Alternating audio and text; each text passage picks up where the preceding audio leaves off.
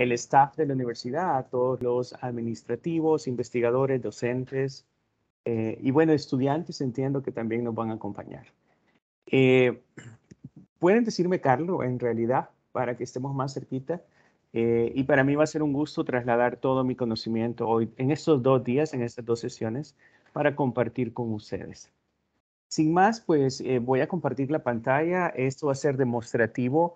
Los que quieran hacer pruebas conmigo lo pueden hacer voy a ir creando un grupo. Hoy vamos a crear grupos, vamos a hacer una práctica juntos para quienes estén eh, utilizando toda la plataforma de Office 365 y Microsoft Teams.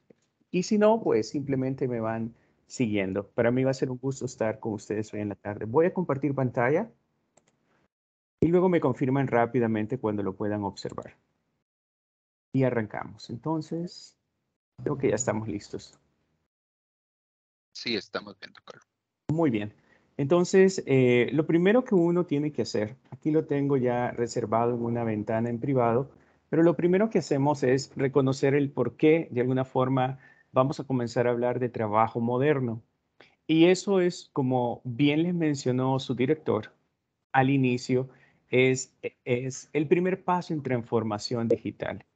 Cuesta verlo porque es un proceso invisible, pero una vez lo logramos entender, realmente eh, es un proceso imparable y nos hace imparables en términos de desarrollo de habilidades. Ese es, el primer punto de hoy en la tarde. Entonces, con cualquier navegador, lo que tenemos que abrir es una sesión de Office 365. Entonces, lo primero que voy a crear es una búsqueda. El parámetro de búsqueda principal no es nada del otro mundo, es muy sencillo. Permítame ampliar un poco para que puedan ver y pongo, por ejemplo, Microsoft Office 365. ¿Y por qué voy a partir por aquí? Porque esta es la llave de entrada a todas las herramientas de trabajo moderno o Modern Workplace. Selecciono la primera, el primer resultado de la, búsqueda, de la búsqueda, que en este caso es Office 365 Login. Voy a hacer sign in con una cuenta exactamente con las mismas características que tiene su cuenta. En este caso ya estaba registrado Voy a cerrar la sesión para partir desde cero. Voy a, voy a reconfirmar el cierre de mi sesión y listo. ¿Por qué hago esto? Porque quiero partir desde cero con cada uno de ustedes. Voy a hacer sign in nuevamente y mi cuenta me la reconoce como una cuenta con un dominio arroba ucr.academic.costa Rica. Si hago clic en la cuenta, una cuenta como la de ustedes, tengo eh, una clave especificada por la institución y a partir de aquí ingreso por primera vez a la plataforma. La plataforma, como pueden observar, es una plataforma que ha sido institucionalizada. No me gusta decir personalizada porque realmente nos brinda un sentido de pertenencia a todos a la institución. Y por aquí parte la primera eh, historia, digamos, de por qué nos estamos reuniendo hoy en día. Es importante tomar en cuenta que la pantalla de bienvenida o la pantalla de saludo de Office 365, pues es una pantalla que me permite a mí comenzar a hacer la administración de documentos en los espacios donde yo puedo ah, guardarlos y administrarlos. Estos espacios son dos, son dos aplicaciones que hemos utilizado tradicionalmente, OneDrive y SharePoint, una más que la otra seguramente, y en este caso OneDrive. Pero ¿por qué quiero partir por aquí? En mi experiencia personal, cuando a mí me dijeron, Carlos, tú tienes que utilizar Office 365 o en inglés o 365. ¿Qué, significa, ¿Qué significaba esto para mí? Una confusión, para ser honesto. Una confusión porque si decía que yo ya tenía Office en mi escritorio, o sea, aquí abajo, en mi desktop, ¿por qué necesito otro Office al que todo el mundo llama, este es el Office de la nube, Carlos? Entonces, ¿qué terminó sucediendo para mí? Terminé en la nube sin comprender realmente cuál era la potencia que tenía esta herramienta, cuál era la potencia que estaba detrás de Office 365. Y lo primero que quiero que tengan presente es que Office 365 va más allá de su nombre, va más allá del simple hecho de decir tengo un Word, tengo un PowerPoint, tengo un Excel, tengo un OneNote, tengo muchas herramientas que ya conozco de la suite normal de, las herramientas de productividad de Office, pero ahora las tengo en un contexto donde la plataforma se llama similar, pero es más, más que eso. Es mucho más que las aplicaciones que conozco de escritorio. Esa es como la introducción. Entonces, Office 365 comienza por brindarnos una colección, y esto se llama colección de aplicaciones, las cuales vamos a comenzar a identificar en el menú que tenemos justamente ordenado en forma vertical al lado izquierdo de nuestra pantalla. Y por aquí empieza el primer paso. Uno, como les dije, em, vamos, a, vamos a revisar el primer concepto de la tarde. Y el primer concepto de la tarde va a partir por comprender la plataforma en su definición y qué es Office 365. Como les dije, vayamos más allá quizás de mi primer entendimiento, porque al confundir el nombre, pues yo decía, ¿por qué me están dando otro Office? ¿Por qué me están dando más aplicaciones de Word? Si estoy feliz con lo que tengo en mi escritorio. Entonces yo era precisamente un usuario que utilizaba el buscador de aplicaciones, utilizaba Word, utilizaba PowerPoint, buscaba Excel, por decirlo de alguna manera, y abría Excel y este era el Excel de escritorio y empezaba a trabajar normalmente como la tradición y la costumbre nos lo ha hecho. Sin embargo, en la medida del tiempo y el tiempo transcurría, todo el mundo me decía, Carlos, este, la siguiente reunión va a ser en Microsoft Teams y yo era usuario de Skype for Business. Carlos, no vamos a utilizar correo electrónico más porque toda la mensajería y colaboración la vamos a utilizar por Microsoft Teams. Y yo me rehusaba completamente salir de ahí porque estaba siendo muy honesto con ustedes, muy cómodo o muy conforme con la productividad que tenía o había logrado en ese momento. Sin embargo, yo miraba que mis colegas poco a poco iban avanzando en el tema de Microsoft Teams y me estaba quedando rezagado. Y ahí fue cuando me propuse entender 100% qué es lo que me estaba perdiendo y por qué todo el mundo estaba hablando de Office 365 y Teams. Y comencé mi investigación y es lo que les voy a compartir.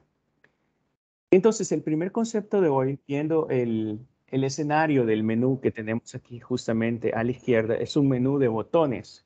Y estos botones en inglés se llaman tiles. Estos tiles o botones están organizados de forma vertical, pero esta organización puede cambiar. Y cuando les digo puede cambiar, depende de los diferentes menús. Por ejemplo, arriba, y disculpen, justo en la parte superior de este menú, tenemos un menú muy interesante que suele ser algo que nos llama la atención y nos confunde. Pero ahí tenemos un menú, un menú de puntos suspensivos. Es una matriz de puntos suspensivos. Si hago clic sobre este tile, azulejo o menú que me indica más aplicaciones, lo que despliego es el menú izquierdo en botones a una ventana, siempre a mi costado izquierdo de la pantalla, con las opciones de aplicaciones, más opciones. Y abajo los documentos que he ido creando, más eh, la posibilidad de un hipervínculo de crear documentos, ya sea en Word, Excel, PowerPoint, OneNote, Form en Excel y Sway. O ver mis documentos o accesar más documentos. Entonces, de alguna manera, esto comienza a dar una idea de que la pantalla de bienvenida es un administrador de documentos o de acceso a documentos. ¿Dónde se guardan estos documentos? precisamente en la plataforma de Office 365 y ya vamos a ver específicamente en qué lugar. De momento, entonces, ¿qué ocurre cuando digo quiero ver todas las aplicaciones? La ventana me ofrece en forma ordenada, de manera vertical, todas estas aplicaciones. Y es justamente aquí donde surge mi primera interrogante. Ya entré con mi cuenta institucional a Office 365, pero tengo que reconocer que de estas yo conozco Excel, o mejor dicho, no tengo idea de lo que es Booking, no tengo idea de lo que es complementos, Delve mucho menos, Kaisala, List, eh, People o personas, Power Apps, Power Automate, eh, SharePoint lo ocupé muy poco, Stream menos, Sway, To Do, Visio aparece aquí, Whiteboard nunca lo ocupé, y etcétera. Entonces empiezo a reconocer que me falta mucho por aprender dentro de, dentro de las famosas aplicaciones de Office 365. Más abajo en esta organización de aplicaciones, ustedes pueden observar un hipervínculo acá abajo que dice explorar todas las aplicaciones. Voy a aumentar el zoom para que lo observen un poquito más. Déjenme ver un poquito más aquí. Entonces, después de movernos sobre todas las aplicaciones, aquí aparece un pequeño hipervínculo o botón también que dice explora todas las aplicaciones. Si hago clic en él, pues la ventana de bienvenida cambia Y ahora lo voy a reducir para que vean cómo se ve el mosaico de aplicaciones. Entonces, el primer concepto a corregir, eh, en mi caso, cuando empezaba la discusión de Office 365 y el aprendizaje de Office 365, es precisamente que Office 365 no es Office en primer lugar. Y es una aplicación que me permite tener acceso a una plataforma cuyo primer concepto lo voy a llamar es un hub. ¿Y es un hub de qué? De aplicaciones. Entonces, estas aplicaciones conviven con nuestras computadoras, es decir, con todas las aplicaciones de nuestras computadoras, pero estas aplicaciones no están en nuestro disco duro. Están localizadas en un servidor de terceros, al cual tenemos acceso, como vieron desde el inicio, por un navegador. En consecuencia, todas estas aplicaciones son en tecnología de nube. Y por eso el simbolito, ¿verdad? Como para tratar de ir comprendiendo que son el uso en términos de necesidad de cada uno de estos servicios. Lo interesante de esto es que poco a poco uno va ordenando su mente porque dice, ok, estoy en Office, por lo tanto, yo entiendo mucho de Excel. Yo entiendo mucho de, por acá anda, Word. Yo también entiendo de PowerPoint. Y quizás paremos de contar, ¿no? Porque es lo que usualmente utilizamos. Por aquí aparece Outlook. Eh, y por aquí aparece otro bien importante que es OneDrive. Pero ¿cuántos de nosotros usualmente logramos integrar en nuestro día a día todo el contexto, por ejemplo, de un planner, de un proyecto, del mismo Teams? ¿Cómo sabemos, por ejemplo, que Delve me va a permitir, me perfilar de forma ejecutiva eh, mi presencia en el contexto de nube en una institución. De alguna manera puedo entender que el calendario siempre va a estar asociado con Outlook, pero también siempre puede estar asociado con people o personas, pero que todo esto se integre en Outlook generalmente, pero no me doy cuenta que lo puedo utilizar de forma separada. ¿Y qué tal si de repente quiero hacer un proceso muy interesante donde eh, digamos, yo estoy esperando recibir muchos correos electrónicos con archivos adjuntos.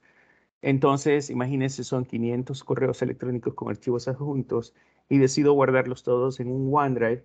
Tengo que ir correo por correo, descargando, guardando y subiendo el archivo a OneDrive. ¿Y cómo podría hacerlo en forma automatizada con Power Automate? Y Power Automate yo puedo crear un flujo donde inmediatamente recibo un flujo y automáticamente Power Automate descarga el archivo adjunto y lo guarda por mí en la carpeta de OneDrive. Entonces, todo esto que yo les estoy contando y que se ve dibujado se, se llama trabajo moderno. Y esto es un primer paso a la transformación digital de un flujo de trabajo, de un contexto de trabajo. ¿Y saben qué es lo más difícil del proceso de transformación digital?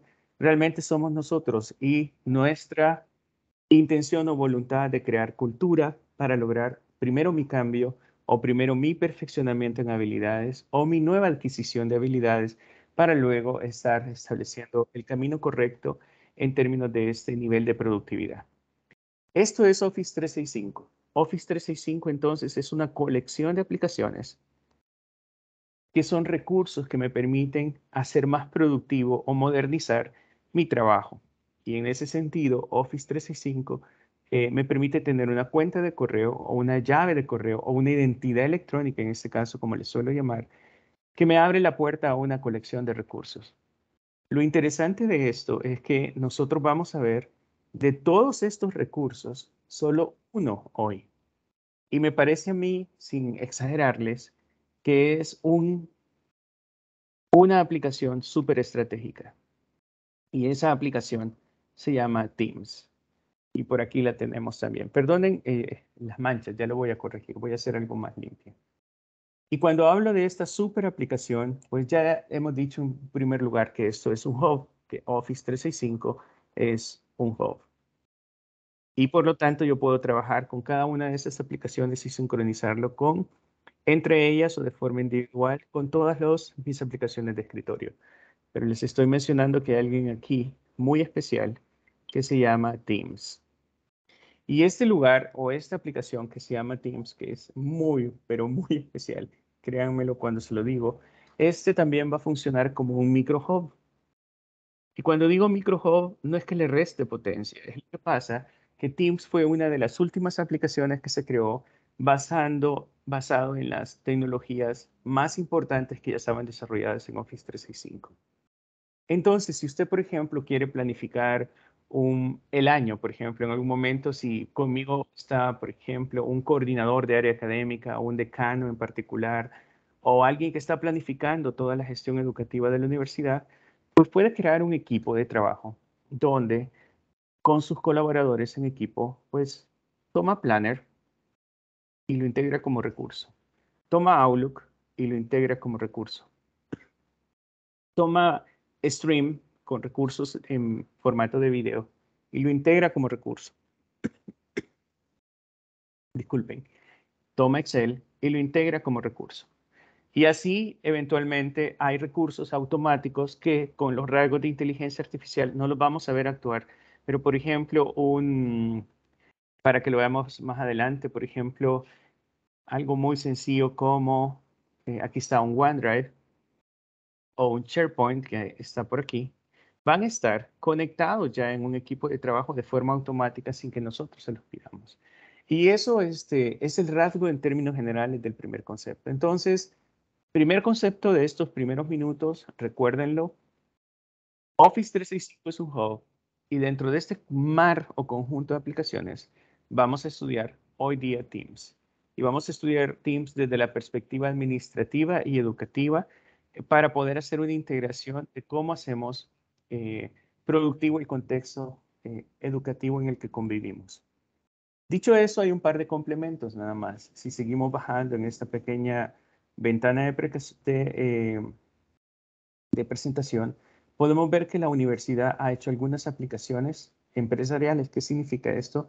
Estos son recursos específicos que la universidad ha desarrollado que son importantes. Luego están todas las aplicaciones. ¿Cuál es la diferencia, Carlos, entre Office, todas las aplicaciones, perdón, las aplicaciones empresariales y todas las aplicaciones?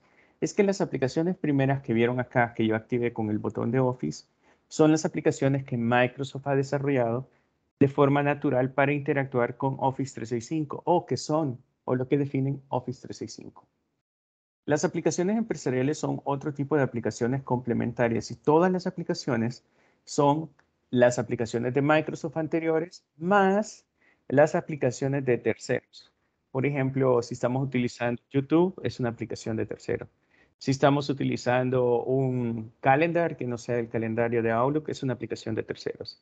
Si estamos utilizando la aplicación de registro académico que se puede sumir a Office 365 de la universidad, pues claramente es una aplicación de terceros. Y así sucesivamente cuando hagamos clic en todas las aplicaciones, en este organizador de aplicaciones, pues vemos cuáles son las de Office, cuáles son las empresariales y dónde están todas las, todas las aplicaciones en conjunto. Así de sencillo es. Y más abajo ustedes tienen trucos y sugerencias. ¿Qué quiere decir esto? Pues por, de repente aquí tienen este, alguna guía, algún tutorial, algún manual, algún comentario, como por ejemplo acceso en todo momento a SharePoint. Si no sabemos nada de SharePoint, hacemos clic acá y simple y sencillamente nos abre, un asistente para poder seguir estudiando. Em, vamos a dejar que cargue para revisarlo después. Entonces hagamos un resumen muy importante. Estamos en primer lugar en Office 365. Estábamos, ¿se acuerdan? En la ventana de bienvenida. Siempre va a partir por un saludo acorde al reloj eh, local de cada país. Luego fuimos al menú vertical y activamos todas las aplicaciones. Al activar todas las aplicaciones, decidimos hacer clic en todas las aplicaciones para poderlas ver. Y este organizador al final me permite básicamente explorar todas las aplicaciones y al hacer clic acá, pues regreso a la ventana donde estaba el mosaico de aplicaciones y el organizador que estábamos revisando. También quiero que observen que cada vez que estamos haciendo clic en estos hipervínculos, estamos moviéndonos de pestaña, fíjense. Y esto es muy importante porque son rasgos interesantes en los detalles. Voy a quedarme con la ventana principal de bienvenida y con la ventana de todas las aplicaciones. Esta pestaña no existe.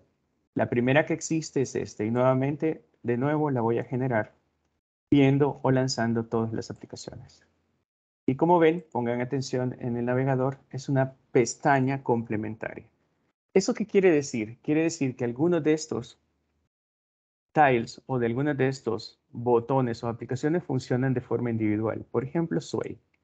Suede funciona de forma individual, pero trabaja sobre la misma ventana. Y esto suele confundir a algunos.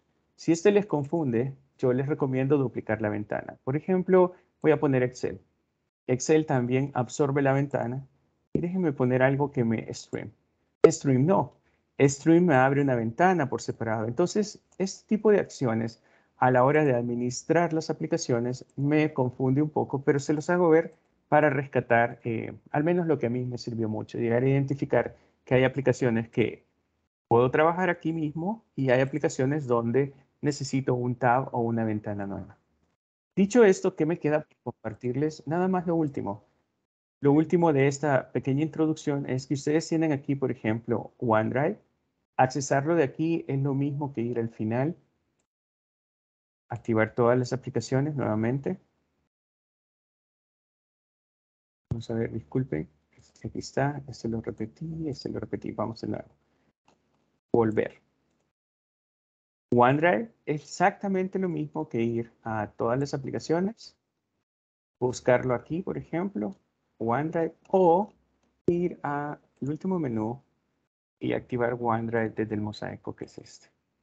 ¿Por qué les menciono OneDrive? Les menciono OneDrive porque la ventana de bienvenida, que es esta ventana, pues es una ventana que organiza mis espacios de almacenamiento y organiza realmente los documentos en mis espacios de almacenamiento.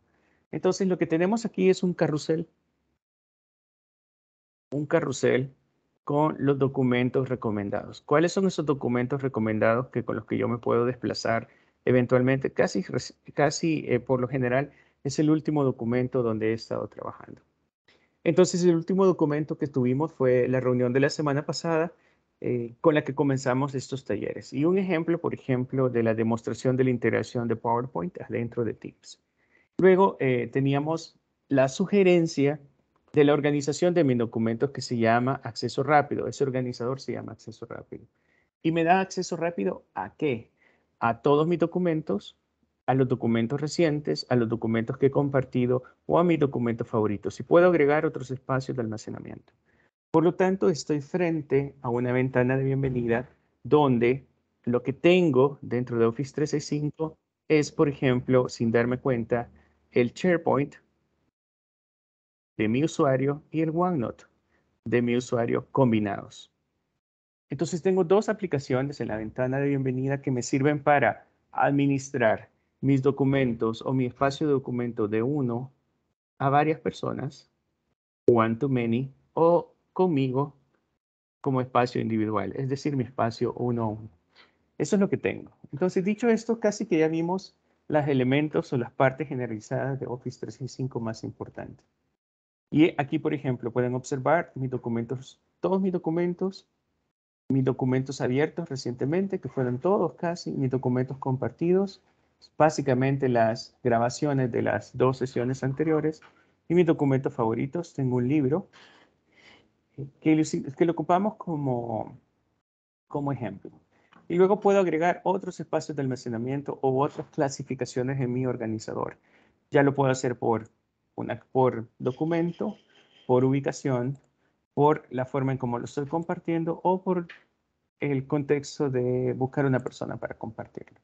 Si me voy a todos, por ejemplo, y pongo en esta demostración, esta demostración más acciones y la clasifico como favorito, me voy a este OneNote creado de demostración y la clasifico como favorito y me voy, por ejemplo, a esta tarea, a este PDF que se llama asteroides y lo abro y luego lo cierro y regreso precisamente a mi organizador, puedo ver cuáles son los documentos más recientes. Asteroide es el más reciente y mis favoritos, pues tengo dos más dentro de la lista. No los quiero como favoritos, entonces lo quito como favorito. Y así de fácil es la administración de los documentos en su organizador de la pantalla de bienvenida. Lo chévere de este organizador es que se va llenando de forma automática y me permite, por ejemplo, en las recomendaciones tener acceso a la reunión de Teams de la universidad que tuvimos la semana pasada. O si alguien trabajó conmigo colaborativamente un documento, pues ese documento es el más reciente y es lo que Office 365 en su concepto de inteligencia artificial de bienvenida, es el que me recomienda para comenzar. Esto que les cuento es Office 365 de manera general. Vamos entonces a comprender la segunda definición. Y la segunda definición ya es trabajar con Teams.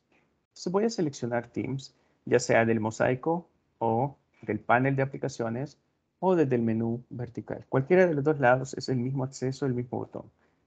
E incluso es la misma acción. Voy a compartir el sonido por si lo necesitamos. Como pueden observar, a partir de ese momento se está abriendo Teams, como les dije, como una aplicación independiente. ¿Qué quiere decir esto? Como una pestaña aparte. Tengo mi ventana de bienvenida, tengo este, eh, el mosaico de todas mis, aplicaciones y tengo Teams. Estos son equipos, los voy a guardar, los voy a esconder con este menú. Estoy adelantando un poquito, pero quiero mostrarles la pantalla en limpio. Esta es la pantalla de Microsoft Teams cuando la vemos por primera vez. Y si me preguntan a mí cuando la vi por primera vez, no encontré por qué era tan grandioso. en realidad, me hacía la pregunta porque todos mencionaban que Teams era demasiado poderoso.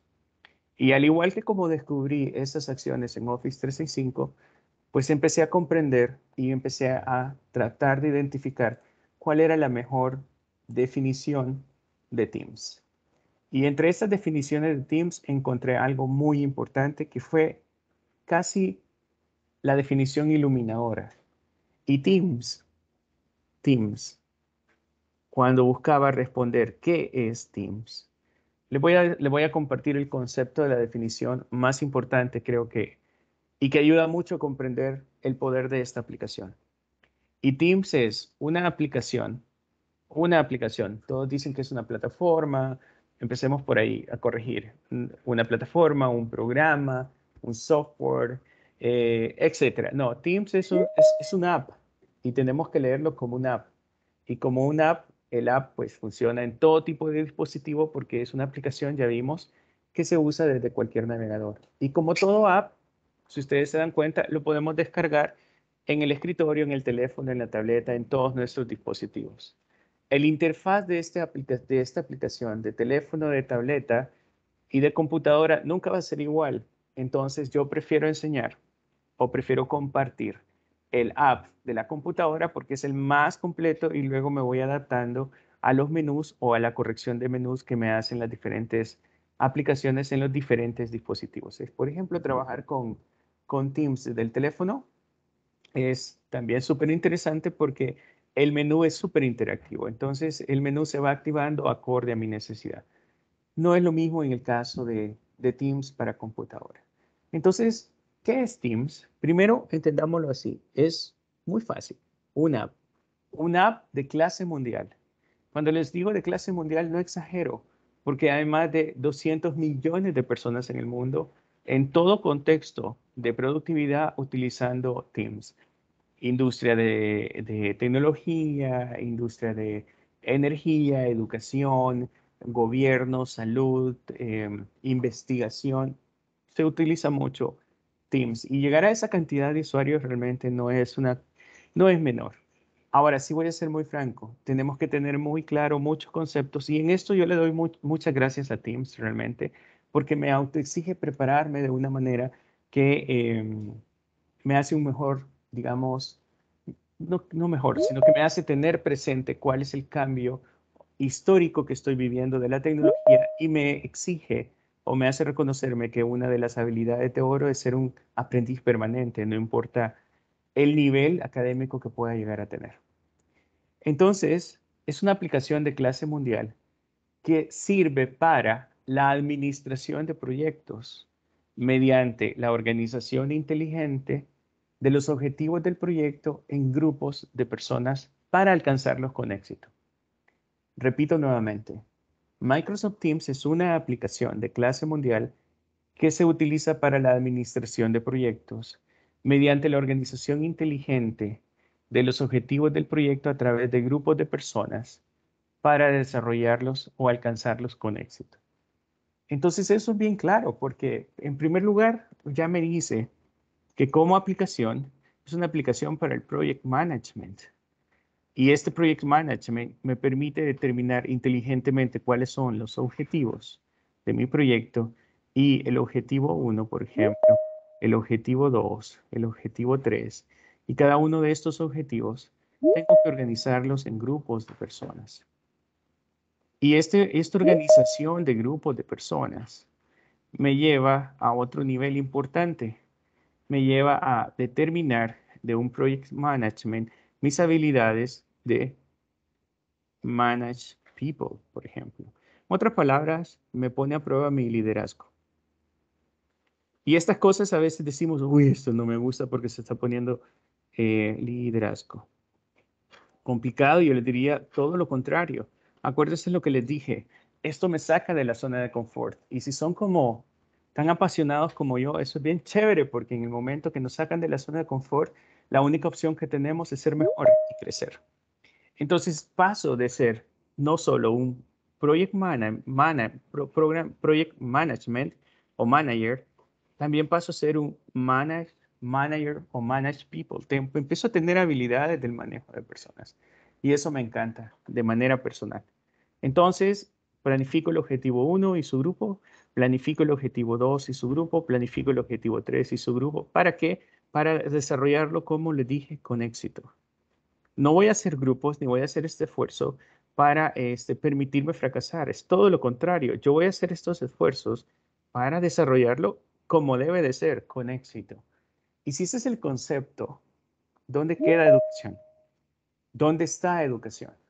¿Y por qué Teams ahora es tan potente? Bueno, y lo ha sido siempre eh, a la hora de entenderlo bien, tan potente en el proceso educativo. Yo he estudiado particularmente como profesor, al igual que ustedes, como profesional también, todas las plataformas, todas las plataformas que hemos escuchado.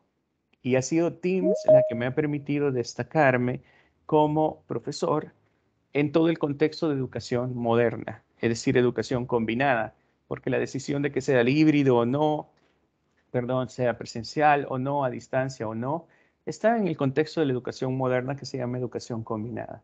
Y la metodología de trabajo que llego a definir, definir se plasma muy, muy bien en Microsoft Teams.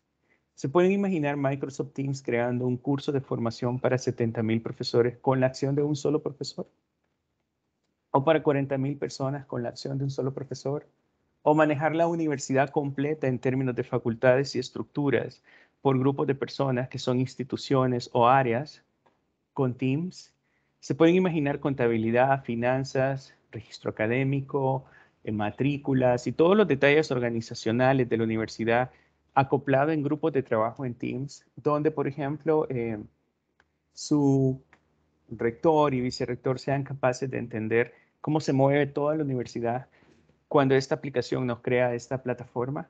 Súper interesante. Y realmente, cuando entendemos Teams y, logramos hacer la integración de Office 365 y sus recursos, créanme, eh, llega un punto en que todo cobra o todo toma total sentido. Como lo dijo don Henry, es, uno de los primeros escalones en el proceso de la transformación digital de toda una organización. Y en eso están. Así que desde ya felicidades también por eso.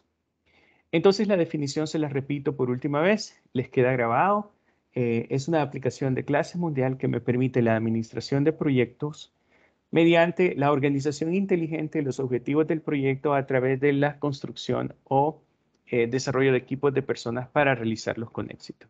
Me hace un project manager, me, hace desarrollar habilidades de manage people. Dicho esto, educación, ¿qué implica? Educación es bien fácil. ¿Cuál es el objetivo final de un proceso educativo? Llamémosle proyecto educativo a lo que voy a desarrollar. ¿Cuáles son sus objetivos? Para mí solo existe uno, poner al estudiante al centro y asegurar su éxito para lo largo de la vida.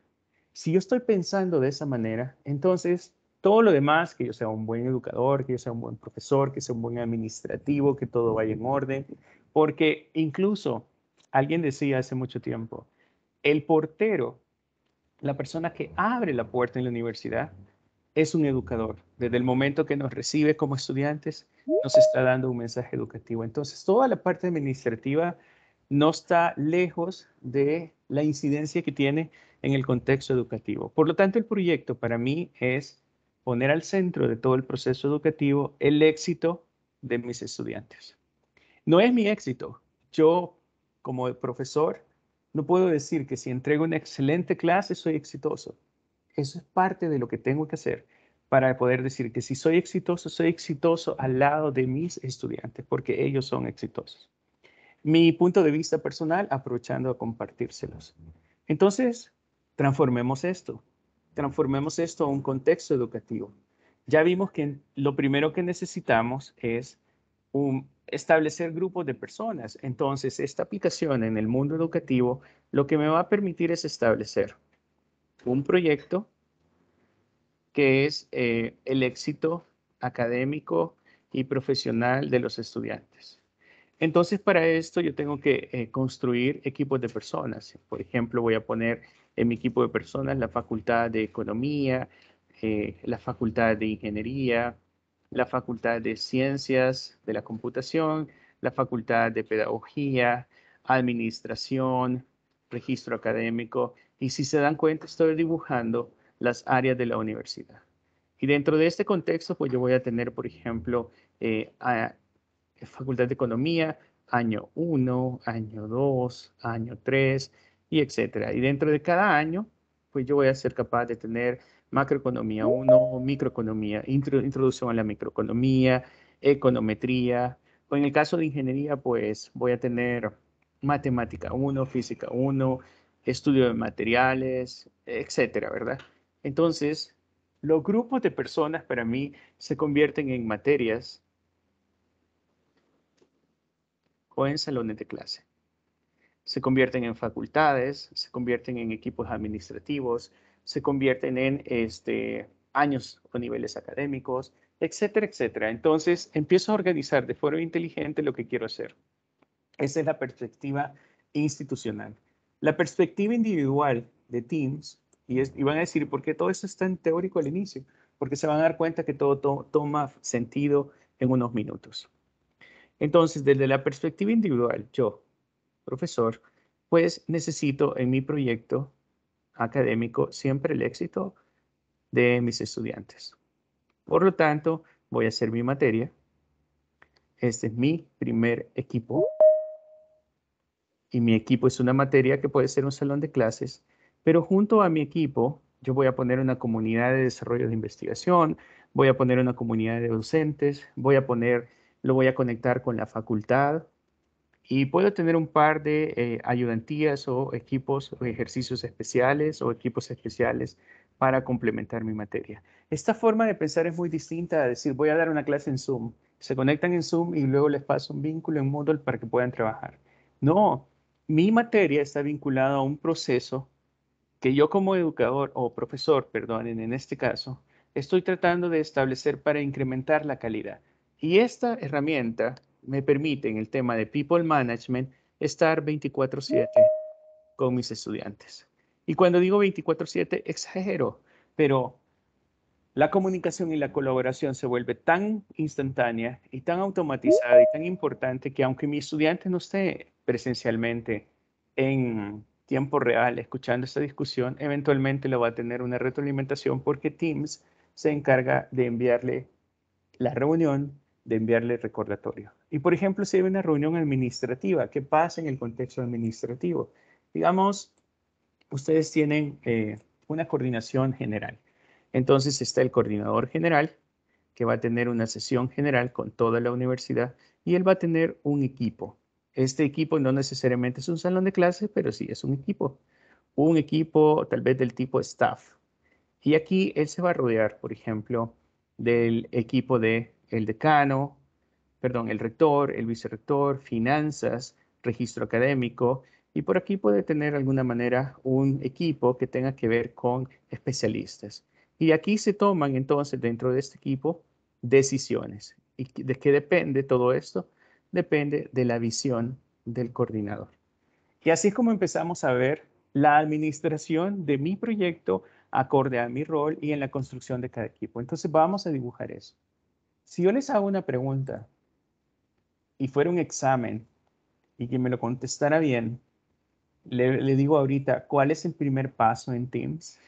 Debido a la a lo que han escuchado, eh, ¿me puede poner alguien en el chat qué es lo que considera que debería de ser el primer paso en Teams entonces? Y ojalá sea alguien que no me haya escuchado antes. No lo digo porque no quiero que respondan bien, es solo por exigir de alguna manera que pensemos un poquito más.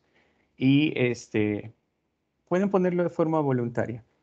¿Cuál sería entonces el primer paso en Teams? Veamos si alguien contestó. Primer paso, buenísimo. Crear un equipo correcto, Armando. El primer paso en equipos es trabajar. Muy bien, buenísimo. Se los agradezco. Súper. Entonces, veámoslo. El primer paso en Teams, y lo voy a dibujar para que no se les olvide nunca. El primer paso en Teams es crear o unirme a un equipo. ¿Y por qué les hago mención de esto? Yo cuento de forma simpática que un profesor en Guatemala me decía, Carlos, enséñame a hacer una presentación en PowerPoint, porque fíjese que cuando abro Teams no encuentro dónde comenzar a colocar las láminas. O otro profesor me decía, Carlos, enséñame a hacer una presentación, perdón, un documento en Word, pero cuando abro Teams no sé dónde poner nueva página. claro, yo no le podía contestar al profe, ni él ni yo sabíamos realmente cómo este, comenzar a hacer eso. ¿Por qué? Porque el primer paso en Teams no es nuestra costumbre. Nuestro primer paso en Teams es crear un documento, perdón, crear un equipo o unirme a él. Y para eso sirve el único botón que aparece en la ventana principal. Y luego, cuando esto tiene sentido, reviso la colección de menús o el menú nuevamente ordenado de forma vertical al lado izquierdo de nuestra pantalla donde empiezo a observar que aparece un icono de una campanita, un icono de mensajería de chat, un icono de agrupación de personas, un icono de una mochila, un icono de un calendario, un teléfono, una hoja en blanco, el icono de más puntos, que es este, el, icono de puntos suspensivos, que es el icono, disculpen, el menú de más opciones. Luego tengo un icono por acá abajito de más aplicaciones y un botón de soporte técnico. Vean, ya estudiamos todo todo el menú organizado al lado izquierdo de Teams. Pero cuando hablamos de crear un equipo, los integrantes, acuérdense del equipo, son personas. Entonces, si las personas se comunican, hay una actividad. Si las personas están conversando, hay una conversación, un chat. Si las personas empiezan a hacer sus propios equipos, entonces tienen que administrar sus equipos. Y al administrar sus equipos, pues empieza a haber una colección de equipos. Si las personas empiezan a dejar actividades o tareas, pues la mochila o el símbolo de tareas comienza a tomar eh, mm, sentido. Si el calendario y las reuniones empiezan a programar, el calendario se empieza a llenar. Si Teams está conectado a la planta telefónica de la universidad, pues entonces puedo ahorrarme mucho dinero en términos de comunicación. Sin embargo, Teams en este caso no necesita estar conectado a la planta, planta de telefónica, y yo ya puedo estar en la parte de reuniones y conversaciones ahorrando mucho dinero, modernizando la comunicación. Y finalmente tengo los espacios de compartir y muchas más opciones. Todo lo que acabo de mencionar lo vamos a ver en unos minutos, pero lo que quiero rescatar de esta parte es que todas estas herramientas, que ya es un manchón, y déjenme repetir el dibujo, todas esas herramientas que ustedes ven ahí, pues son herramientas que me van a servir si lo piensa muy bien cuando pongo a mi integrante del equipo al centro para hacer el people management. Y esto es la habilidad. Uno, la actividad me va a decir en el momento que ellos están conversando y yo me estoy perdiendo de una conversación. Chat no es un chat normal, casi que chat es la construcción de correos electrónicos indirectos para las personas que no están en este momento en tiempo real en la conversación. Chat también me permite compartir documentos en tiempo real, hacer reuniones, grabar tutoriales. No solo es la conversación, pero me permite inmediatamente, después de ver la actividad, saltar rápidamente a la conversación. Luego puedo ver la organización de mis equipos, puedo administrar mis actividades, puedo administrar mi calendario de trabajo y este, puedo irme complementando con todas las demás. ¿Por qué? Porque hay una actividad de colaboración y comunicación con los integrantes de mi equipo. Entonces vamos a Teams y hagamos el primer paso. Ah, y algo más. Vamos a ocupar para este momentito este botón. Si no es este botón, disculpen, me voy a ir a este botón, a este, a estos, perdón, me voy a colocarlo de otro color para que lo vean. Me refiero a este botón que es configuraciones o a este menú de más opciones. ¿Por qué? Porque ahorita está en inglés y lo voy a pasar a nuestro querido español. Entonces, si hago clic acá, sí, aquí lo puedo hacer en Manage Team. No, aquí no lo puedo hacer. Entonces voy a regresar y voy a ir a puntos suspensivos y voy a ir a configuraciones, otra configuración. Y aquí sí lo puedo hacer. Entonces, el primer paso que les voy a mostrar después de los conceptos es em, cambiar el idioma a nuestro querido español. Y lo hacemos en esta ventana de configuraciones. Esta ventana de configuraciones la vamos a ir entendiendo poco a poco eh, en la aplicación que hagamos de Teams. Y por ejemplo, esta ventana tiene, cuando hablamos de configuraciones, ¿verdad? Tiene la configuración general, tiene la configuración de mi identidad, mi cuenta, mis parámetros de privacidad, mis notificaciones, los permisos de las aplicaciones que quiero integrar a mis equipos, el control sobre subtítulos y transcript en las reuniones, el, mis espacios de almacenamiento y las llamadas. Vean, vean el poder de todas las herramientas que hay, perdonen, dentro de mi contexto de Teams. Y todo eso para el, todo ese cuento es para ver cómo quiero ver los temas en el contexto general, cómo quiero ver el tema, cómo quiero ver el orden o, o, el mosaico de conversaciones, si compacto o moderado, si quiero trabajar con la parrilla de grupos o con la lista de grupos. A mí particularmente me encanta trabajar mucho con la parrilla de grupos porque tengo una visión más clara de mis grupos. Y finalmente acá abajo, no lo vemos, está el tema de language o lenguaje. Entonces vamos a ocupar ese panel ahorita. Eh, por si tienen curiosidad, vean cómo se ve Dark. Por si a algunos les gusta trabajar así. Eh, o en contrastes. Son apariencias, ¿verdad? Pueden trabajar así. Yo generalmente me quedo en la tradición. Y eh, me gusta trabajar en la parrilla, como les digo, no en la lista. Si trabajamos en la lista, pues aquí ven la lista de equipos. Pero si trabajamos en la parrilla, pues lo que vemos es los grupos, los equipos, que ya lo vamos a ver posteriormente. Y estos son los equipos, ya vamos a llegar hasta ahí. Sigamos entonces con este menú de configuración, ya revisamos un poquito de él, veamos el idioma y seleccionemos nuestro querido español. Voy a elegir un español genérico, nada más por eh, temas de los, de los programas, ¿sí? Entonces elegí español de Estados Unidos, eh, pueden, pueden elegir español de Costa Rica, en realidad, ahí está. No creo que haya mayor diferencia. Y ahora sí, pueden, voy a ampliar un poco con el zoom. Y observen, aquí está sugerido en Teams. Antes de empezar, antes de ver actividad, chat, equipos, tareas, aplicaciones, etcétera, el primer paso es hacer clic en ese botón. Cuando tengo clara la intención, hago clic en ese botón para unirme a un equipo o crear uno. Y bienvenidos. Esta es la ventana donde yo empiezo la creación de un equipo donde me puedo unir a uno de ellos. Ese es el primer paso en Teams. Van a decirme, Carlos, pero aparecen otros equipos. Sí, aparecen otros equipos de la institución. Acuérdense que yo estoy usando una cuenta genérica donde a esta cuenta la han, invitado a participar del grupo de 1, del grupo de prueba, de los simposios, de los casos de familia, de francés, de un grupo demo público clase. Todos estos han sido acciones de alguien que ya está practicando y me está compartiendo porque pueden hacer uso de esta cuenta para sus prácticas y me está compartiendo ser parte de ese equipo. Pero en este caso yo podría decir, por ejemplo, eh, no me quiero unir al equipo, entonces me uno al equipo primero y después lo rechazo, por ejemplo.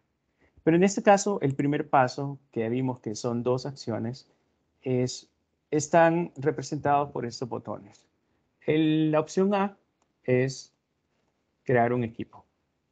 Y la opción B es unirme a un equipo, ¿sí?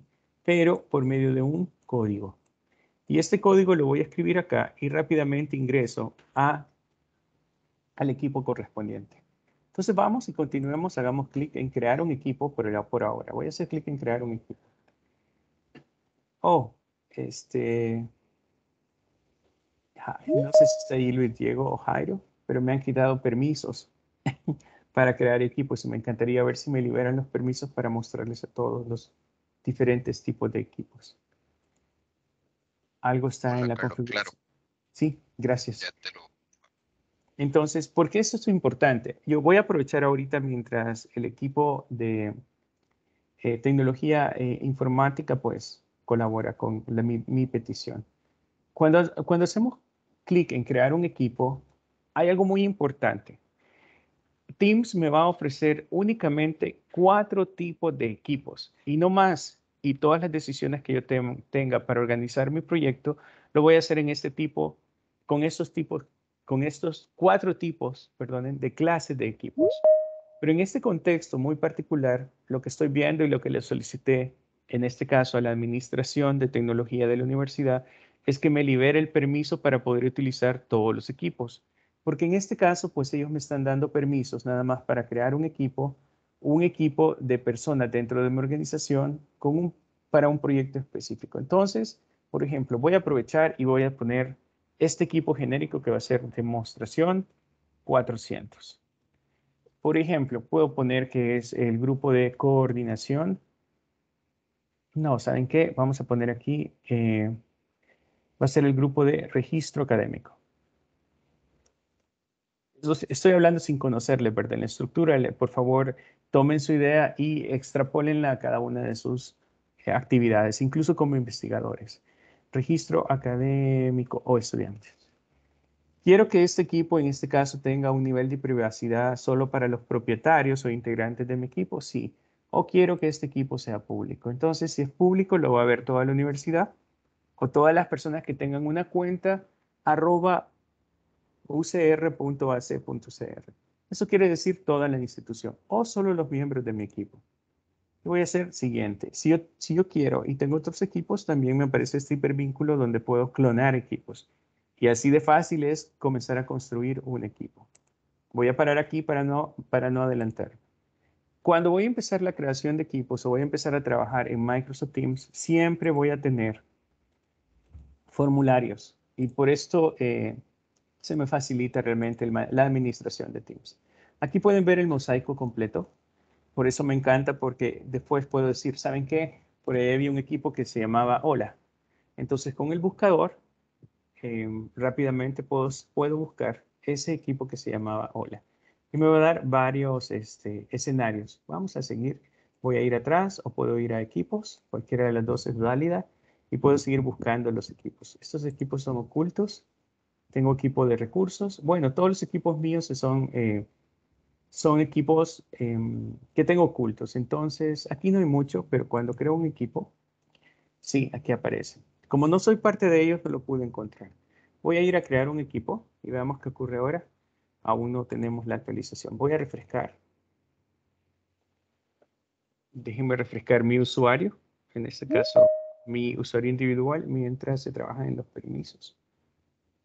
Y vamos a volver a intentar crear un equipo. Aún no. Entonces vamos a aprovechar lo siguiente. Carlos, creo que hay que cerrar la sesión y volver a entrar porque ya se aplicaron. Ok, listo.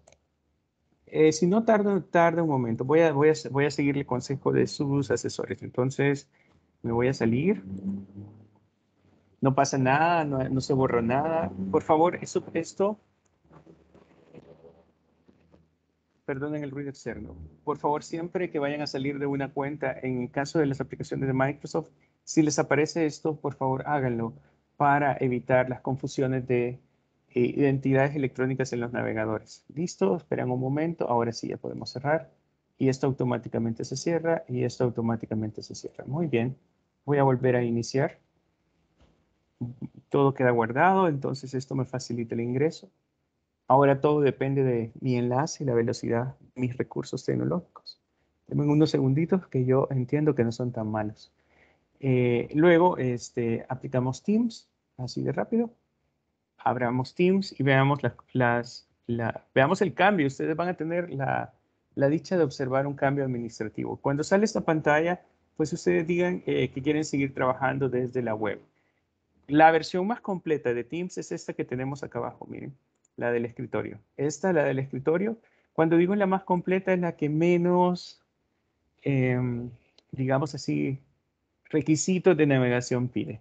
Entonces, generalmente para las demostraciones y que es suficiente, yo me quedo trabajando con la web, que es el hipervínculo de abajo. Nuevamente cambiamos el idioma. Esto es un repaso. Seleccionamos nuestro español. Como les dije, algo genérico. Este seleccioné yo de Estados Unidos. No, me equivoqué. Eh, no importa, vamos, seleccioné inglés otra vez. ah, no, está bien en español. Listo, entonces ahora vamos a unirnos a un equipo. Va a aparecer todos los equipos en los que me están sugiriendo ser parte. Y ahora voy a hacer clic en crear un equipo. Todavía no, hay que esperar quizás, Jairo, pero voy a tratar de avanzar de esta manera. Eh, entonces, cuando, cuando, cuando estamos trabajando en el desarrollo de los equipos, me aparecen cuatro opciones, ¿sí? Estas opciones son el equipo tipo clase, el equipo tipo docentes o comunidad de aprendizaje y el equipo tipo eh, staff y el equipo tipo otros. Déjenme ver si por aquí tenemos algo que me permita ilustrarles eso rapidito. Vamos a ver. Denme un segundo solo para buscar esa imagen. Creo que está acá en Costa Rica. Acá. Vamos a ocupar uno de estos. Sí. Voy a ocupar algo, eh, están conociendo mis secretos, pero porque quiero mostrarles algo muy importante. Permítanme ocupar este seminario que dimos a una empresa general. en ¿Dónde están los equipos? Uy, imposible, no puede ser aquí, no están los equipos. Entonces, no voy a hacer acá, vamos a ir a su país. Y por aquí creo que sí están los equipos. Un segundito. Mientras le damos tiempo que se refleje, nos aquí. Eh, tal vez aquí.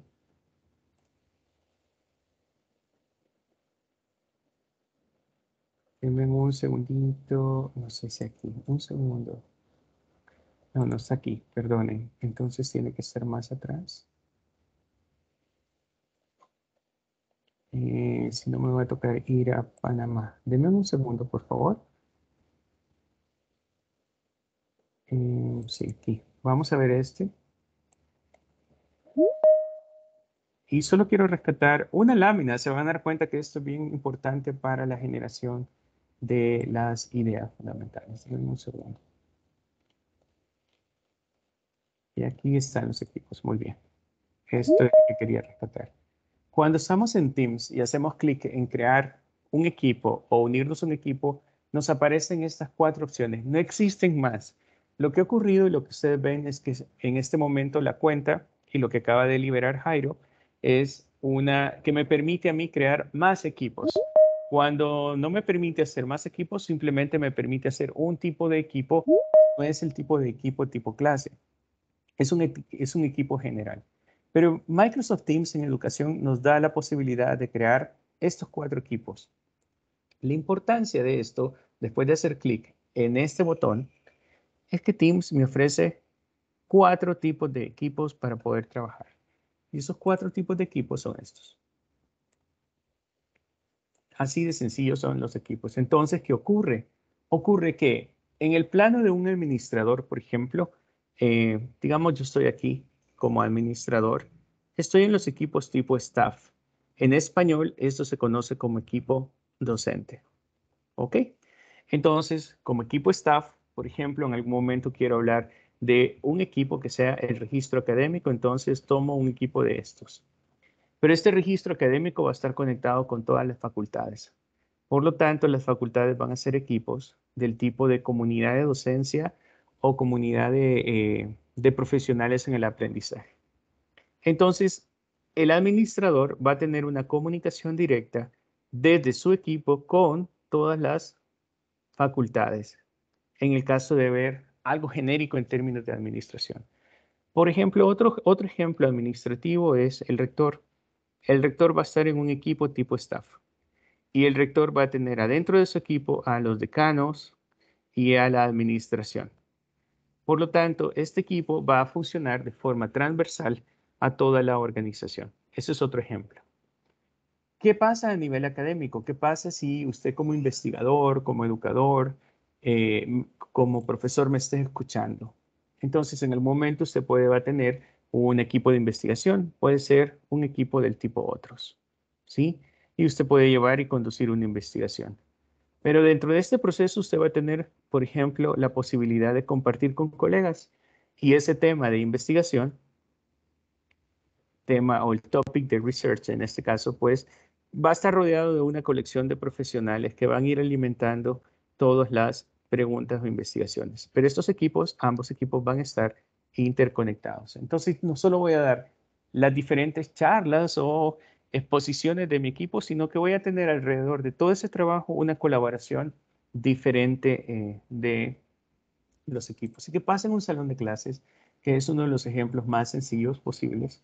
Ocurre lo siguiente, ocurre que si yo soy, por ejemplo, catedrático de, eh, se me ocurre un nombre, física 1, por ejemplo, creo mi materia. Los integrantes de mi materia son mis estudiantes, a quienes ya voy a subir rápidamente a la clase. ¿Por qué? Porque tengo la facilidad con Teams de registrarlos rápidamente. Pero este, esta materia que estoy haciendo, quiero tenerla y quiero llevarla de la mano con dos equipos de investigación de física, que uno son los ayudantes y los otros son catedráticos que están a la par mío, profesores complementándome. Pero también quiero tener a los ayudantes conectados con un equipo auxiliar que es donde se van a dar las ayudantías o los ejercicios prácticos. Y este, esta clase va a estar conectada con la facultad. Por lo tanto, voy a identificarla con un equipo de otros tipo staff, de tal forma que va a estar conectada con la facultad. Todo este mensaje que ustedes ven es lo que yo llamo, en pocas palabras, la administración del proceso educativo en la nube no, no es una simple sesión de comunicación a distancia, por no mencionar ninguna tecnología. Es más una gestión del aprendizaje completo mediante la organización de equipos de personas. Entonces, vamos a crear los equipos. Veamos si Teams se ha refrescado en los cambios y podemos avanzar. Si no, vamos a crear un primer equipo y les voy mostrando cómo se crea. No vamos a poder. Entonces, vamos a arrancar con el primer formulario. La mañana vamos a ver otra vez, no se preocupen que mañana vamos a estar viendo los cambios y van a ver la administración. Pero avancemos en la creación de un equipo que lo que vamos a aprender aquí es exactamente igual. Entonces, independientemente del equipo que elijamos, siempre va a aparecer este formulario. Luego, ¿en qué significa? Significa que si yo selecciono el equipo tipo clase, aparece este formulario. Si yo selecciono el equipo profesional o comunidad de profesionales, aparece este formulario. Entonces, ¿qué tengo que hacer? Ponerle nombre. Habíamos dicho que le vamos a llamar Demo 400. Y la descripción iba a ser algo de, eh, por ejemplo, equipo, se me ocurre poner esto, perdón, equipo para planificar las mejoras del registro académico. Esto no es una clase, si se dan cuenta, es un equipo de tipo administrativo. Denme unos segundos para que se refresque el teclado académico. Listo. Entonces, como dije, la privacidad del equipo ahora es un parámetro que me define algo muy importante. Si yo quiero que este equipo sea visto por toda la organización o simplemente por los miembros de mi equipo. Y aquí me lleva a hablar de los tipos de miembros. Ya lo vamos a ver en la siguiente lámina. Pero este formulario siempre va a ser igual, casi siempre va a ser igual en Teams. Entonces, si aprendemos a poner el nombre, le, ponemos, le aprendemos a poner el nombre a todos los equipos. Si aprendemos a poner una descripción guía, esta descripción guía aparece para todos en el equipo. Y luego tengo que decir si esto es público o es privado. Si es público, lo ve toda la organización, es decir, toda la UCR. Y si es privado, lo va a ver únicamente mi equipo. ¿Ok? En este caso, pues yo voy a trabajar con la característica que sea eh, privado. Y luego les decía que hay un hipervínculo en este formulario donde me permite sencillamente crear un clon. Entonces, eh, al crear un clon, lo que tengo la posibilidad es que si quiero hacer otro equipo relacionado con registro académico, hago clic aquí y se me genera un, un clon de ese equipo. También lo vamos a probar. Dicho esto, lo voy a dejar privado no voy a hacer clones y doy clic en siguiente. Luego el siguiente paso en la creación del equipo es completar un formulario. Y en este punto yo tengo que hablar de los miembros de un equipo o los participantes de un equipo. Porque los participantes de un equipo son dos. Eh, perdón, son tres, pero eventualmente son dos. Entonces, ¿quiénes son los participantes del equipo? Teams es bueno y me lo dice. Entonces, ¿quiénes son los participantes? Participantes. ¿Sí? Los participantes del equipo son los miembros del equipo y entonces leemos.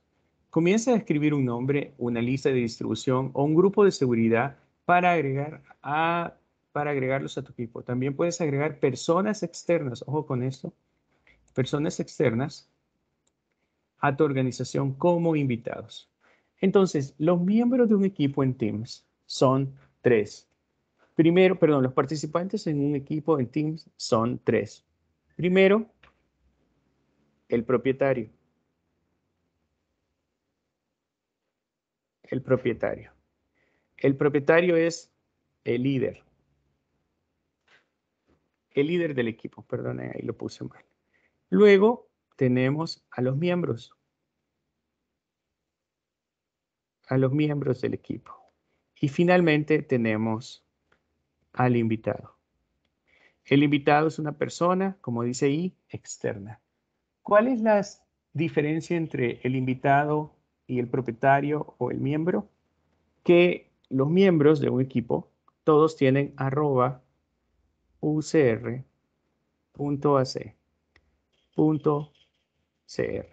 Todos tienen este dominio.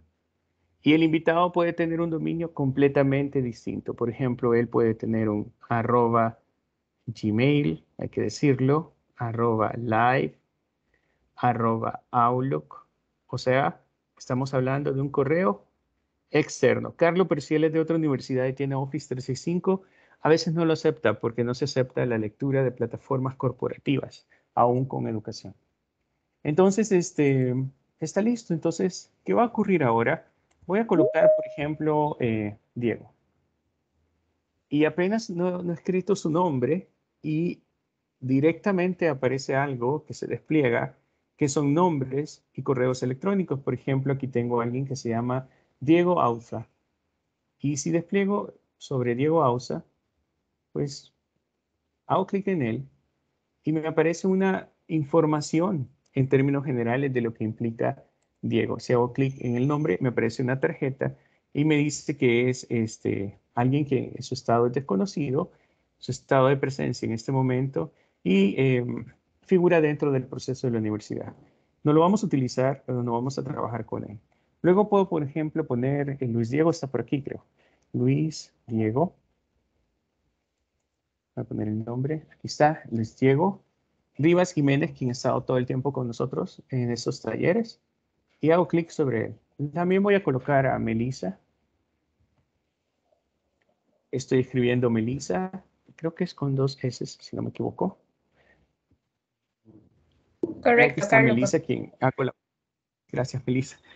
Quien ha colaborado con ustedes también para que se haga adelante esos talleres. Y por aquí está don, Henry. Voy a colocar solo sus primeras palabras. Aquí está don Henry. Y luego voy a colocar el equipo completo, que solo me falta Jairo. Jairo, y bueno, estamos todos, básicamente lo que hemos estado trabajando. Jairo, eh, ¿cuál es el apellido de Jairo? Solo para ser preciso. Sosa, Jairo Sosa. Aquí está. Entonces sí, sí, Jairo, pensé que ya no estaba con nosotros. El primero. Y Microsoft Teams en este momento lo que hizo, por ejemplo, cuando yo ponga, a ver cuántos Carlos hay. Aquí hay varios Carlos, creo. Aquí, aquí estoy yo como invitado y hay varios más. Lo que ocurre es lo siguiente. En este momento no nos damos cuenta y aquí empieza a trabajar todo el concepto de hub. Cuando colocamos un nombre y ese nombre me permite desplegar un listado, un listado con nombre y debajo del nombre una correo electrónico y esto, una pequeña tarjeta de identificación. Esto que está aquí se conoce con el nombre de directorio activo algo como que si estuviera vivo, activo institucional de la universidad. Y esto es posible, ¿saben por qué es posible? Porque en este momento, sin que nos demos cuenta, Teams le está pidiendo a Outlook y a People, dos aplicaciones, venir a trabajar con él para agregar a los miembros al equipo de trabajo.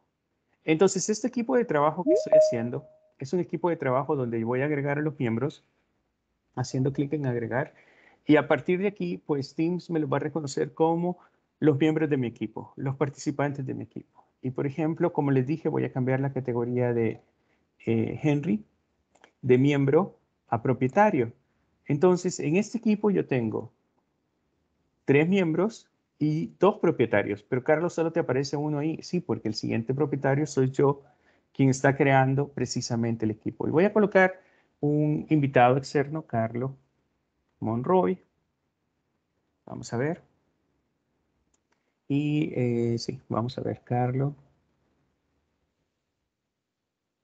Monroy, arroba live.com. Entonces veamos qué ocurre y cómo lee una cuenta de correo o un invitado que no tiene la cuenta UCR. Lo lee como un invitado, ¿de acuerdo? Entonces lo voy a agregar, voy a agregar a Carlos Monroy, que también tiene su tarjeta en este caso, o podemos editarlo si tenemos este, algo, algo que agregar. En caso de Carlos Monroy, de su ID, dentro de la cuenta. Y en ese momento, pues, él aparece como invitado. Es una persona externa al grupo donde vamos a estar trabajando como eh, análisis del registro académico, cómo vamos a manejar el registro académico durante el 2023. Entonces tengo un invitado, tengo tres miembros y tengo dos propietarios. Y esa es la característica que me permite o me facilita el directorio activo. Entonces, por eso, si ustedes se dan cuenta y ustedes tienen un equipo de 100 personas, ¿qué se coloca? Se coloca una lista de distribución. ¿O qué se coloca? Un grupo de seguridad. Microsoft Teams les permite, en realidad Office 365, crear listas de distribución o grupos. Y las listas de distribución, pues es un solo correo, donde ese correo es una lista de 100 correos más, pero únicamente ponemos el nombre de un correo.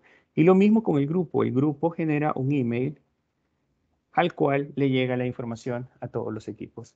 Esos, esas características, para no ir escribiendo uno por uno, también se colocan aquí. Dicho eso, vamos a cerrar. Y así de fácil, en dos pasos o tres, hemos creado, muchísimas gracias, don Henry. Y empiezan aquí las, las eh, muchísimas gracias, Melissa. Empiezan aquí a aparecer las expresiones de sentimiento en el proceso de colaboración. Podemos comenzar a responder y esto parece ser un tema de, al final, de People Manage, como les dije, y esto se llama energizar al equipo, empezar la conversación. Pero de eso vamos a hablar en unos minutos. Como ven, la conversación o el trabajo entre todos nosotros casi comienza de inmediato. Y bienvenidos, este es un equipo, ya les digo de qué clase es, creo que es de clase tipo otros en general, con el cual podemos comenzar a trabajar directamente. Entonces, ¿qué ocurre en este punto? Tenemos que estudiar cuáles son las herramientas que tenemos en un equipo en general. Fíjense cómo hemos venido evolucionando. Repasemos antes de entrar a la siguiente etapa de eh, hoy por la tarde. La primera etapa era que conocieran de Office 365 y su concepto de un hub y la colección de aplicaciones que existen dentro de este recurso. Número dos, que conozcamos a Teams como parte de Office 365 y también que lo, veamos como un concentrador o centralizador de recursos de Office 365 y externos. Que conocieran cuál era la definición más útil de Office 365. Y a partir de allí también que comprendieran eh, la amplitud de lo que implica este concepto y cómo empieza la misma plataforma a darnos las pautas de utilizarlo. Luego el ejercicio ha sido crear un equipo, un equipo del tipo otros, es un equipo del tipo general, del cual hemos estudiado cuál es la característica de los miembros, cuáles son los dos formularios básicos para comenzar a llenar y hemos entendido que este es el primer paso para comenzar a trabajar con Teams. Hoy sí podemos hablar de Word, Excel, etcétera. ¿Por qué? Porque mi Teams o mi equipo está creado. Ahora es importante eh, entender que tenemos adentro del equipo como recursos. Y si, se han dado cuenta y son observadores, eh, seguro que sí, el menú vertical no cambia. ¿Por qué? Porque a partir de ese momento yo voy a empezar a hacer People Management en mi equipo. ¿Y cuál es el objetivo de este equipo? Garantizar un excelente sistema de registro académico para el 2023. Es un proceso administrativo, si se fijan, más que académico y esto va a tener que ver con administración, registro académico, de algún momento, mm, no sé, perfeccionar el cobro en línea, un talonarios electrónicos, más esa parte, ¿verdad? Y de repente también podemos hacer un equipo de investigación. Ese va a ser el segundo ejemplo, cómo vinculamos a los, a los estudiantes. También podemos hacer, se me ocurre, un trabajo de servicio social, un trabajo de servicio social, cómo lo vamos a planificar, etcétera. Entonces, dicho esto, lo más importante de hoy es que se queden claros con los conceptos y me sigan ahora en las características de un equipo. Partiendo por, ahí, vamos a hacer lo siguiente. Todo equipo, y ese es un equipo, como les digo, sin temor a equivocarme, es un equipo del tipo otros, de los cuatro que teníamos escondidos por ahí. Si estoy bien, sí, es este. Es un equipo del tipo otros. ¿Por qué? Posiblemente más tarde o mañana vamos a ver la diferencia. Si estamos trabajando con un equipo tipo otros, entonces todo equipo, todos los equipos, ninguno se salva de esto, tiene un canal que se llama general. Y aquí lo van a ver. Esa ventanita eh, en blanco, y por eso está bien intencional el color, todo es gris menos esta ventanita. Esta ventanita me establece un primer concepto el canal general. El canal general es el espacio donde empieza la primera interacción con los miembros de mi equipo. Y el canal general es todo esto. ¿Sí? El canal general es todo este espacio de trabajo con los miembros de mi equipo. Y aquí es donde empieza la acción. Aquí es donde empieza a perfeccionarse la comunicación o modernizarse la comunicación y la colaboración. Vean qué rápido es, por ejemplo, el entendimiento entre dos actores de este equipo. Henry Lazo y el capacitador Carlos Monroy, sus indicadores de presencia, sus expresiones, pero indirectamente también tenemos participando a Melissa dentro de los indicadores de presencia. Esa acción se va a dar siempre en este contexto que se llama canal general. El canal general es muy interesante porque el canal general está compuesto por pestañas. Tiene la pestaña publicaciones, la primera pestaña. Tiene la pestaña archivos, que la vamos a estudiar, y tiene una pestaña que me encanta, que es este símbolo más. Y esta es una tercera pestaña. Y les digo, todos casi que la olvidamos, pero cuando aprendemos a usarla, esas pestañas son bien poderosas. Si les preguntara por chat cuántas pestañas tiene el equipo tipo otros en el canal general, la respuesta por chat es un simple número 3, ¿ok? Entonces, a partir de aquí, tenemos que estudiar qué son estas pestañas del canal general. Algo muy importante es que el canal general lo podemos editar, lo podemos borrar, lo podemos este, mover del lugar. No. Siempre por defecto, automáticamente y sin posibilidad de modificación, es el lugar natural que Microsoft Teams nos abre para comenzar el trabajo en, de comunicación y colaboración. Es decir, el canal general es el canal por defecto que Teams genera en cada equipo como el primer canal de comunicación. Por eso se llama general global. Un paralelo en comparación es, por ejemplo, cuando ustedes abren Word, ¿qué es lo que aparece primero siempre que no podemos modificar? La página en blanco. O nos ha aparecido alguna vez un documento en Word vacío. Cuando eso ocurre es porque Word no funciona. Pero cuando Word abre, su primera intención, su ventana de trabajo inicial. Lo primero que pone es una hoja en blanco. Eso es lo mismo. Teams nos pone un canal en blanco para comenzar nuestra dinámica de colaboración.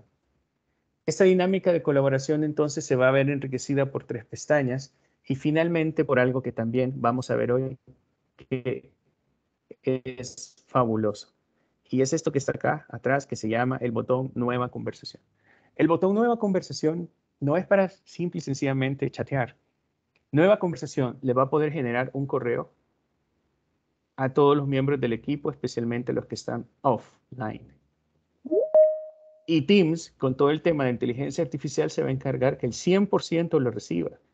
Y esto cuando un estudiante dice, es que a mí no me llegó nada, o en las reuniones, créanmelo, ejecutivas que hemos tenido, que yo he tenido, le digo, es que le envié, le envié el enlace de reunión, mira Carlos, que fíjate que no me llegó nada, lo primero que digo es, me está mintiendo. ¿Por qué? Porque Teams, en todos sus algoritmos de inteligencia artificial, se lo puedo comprobar 100 mil veces. Nunca falla. Lo que pasa es que los robots generan tanta comunicación que a veces nuestros inbox los interpretan como spam y van a parar a la carpeta de correo no deseado. Eso es todo, pero son momentos. No es lo mismo enviar un correo masivo a dos personas que enviar un correo masivo a 100 personas de un equipo. Entonces, muchas veces interpreta el bot o el robot eh, como un correo no deseado. Bueno, eso para que lo sepan, siempre tenemos que buscar en inbox o en correos no deseados o junk mail en inglés. A partir de esto estudiamos entonces las tres pestañas y el botón Nueva conversación del canal por defecto que todo equipo en Teams, ojo, todo equipo en Teams nos va a brindar que se llama canal general. Teams entonces voy a aprovechar a extender un poquito más el segundo concepto, va a estar conformado por, o cada equipo de Teams va a estar conformado por el canal general siempre y luego nos va a dar la oportunidad de crear más canales. Y cuando nosotros empezamos a crear más canales, pues nos convertimos en arquitectos del proyecto. No quiere decir que el canal general lo vamos a ocupar para hacer todo el proyecto o el objetivo del proyecto. Claramente no. Vamos a poder tener más canales o más subcanales que nos van a permitir estructurar otros componentes, objetivos del proyecto. Por ejemplo, materias, por ejemplo, etapas de investigación, por ejemplo, áreas de finanzas, áreas de registro académico y vamos a estructurar el proyecto. Para allá vamos entonces. Pero lo primero que vamos a hacer es hablar de las pestañas 1, 2 y 3 y el botón Nueva conversación. La pestaña Publicación, que es la primera es donde nos encontramos, voy a ampliar. Vea, tenemos Publicación, tenemos Archivo y tenemos el botón que se llama Agregar una pestaña. ¿Por qué? Porque este botón, eso es lo que va a hacer, agregar pestañas pero el poder de esta pestaña es muy grande. Por aquí tengo una alarma, un chat. Vamos a ver qué está pasando. Eh, voy a disminuir. Por ahí tenía una alarmita. Alguien quería compartir. Aquí hay una reacción, una reacción de Henry. Muy bien. Buenísimo. Entonces, vamos a publicaciones. En publicaciones, lo que primero que voy a observar es esta, es esta ventana, la ventana donde voy a tener las conversaciones en estas micro boxes de texto o de eh, entradas, ya sea de, de figuras, videos, documentos, expresiones de sentimientos o conversaciones. En la ventana publicaciones tenemos el botón nueva conversación. Quizás es la, la, aparte de lo que ya vieron que estamos compartiendo, es la característica más importante de esta sección.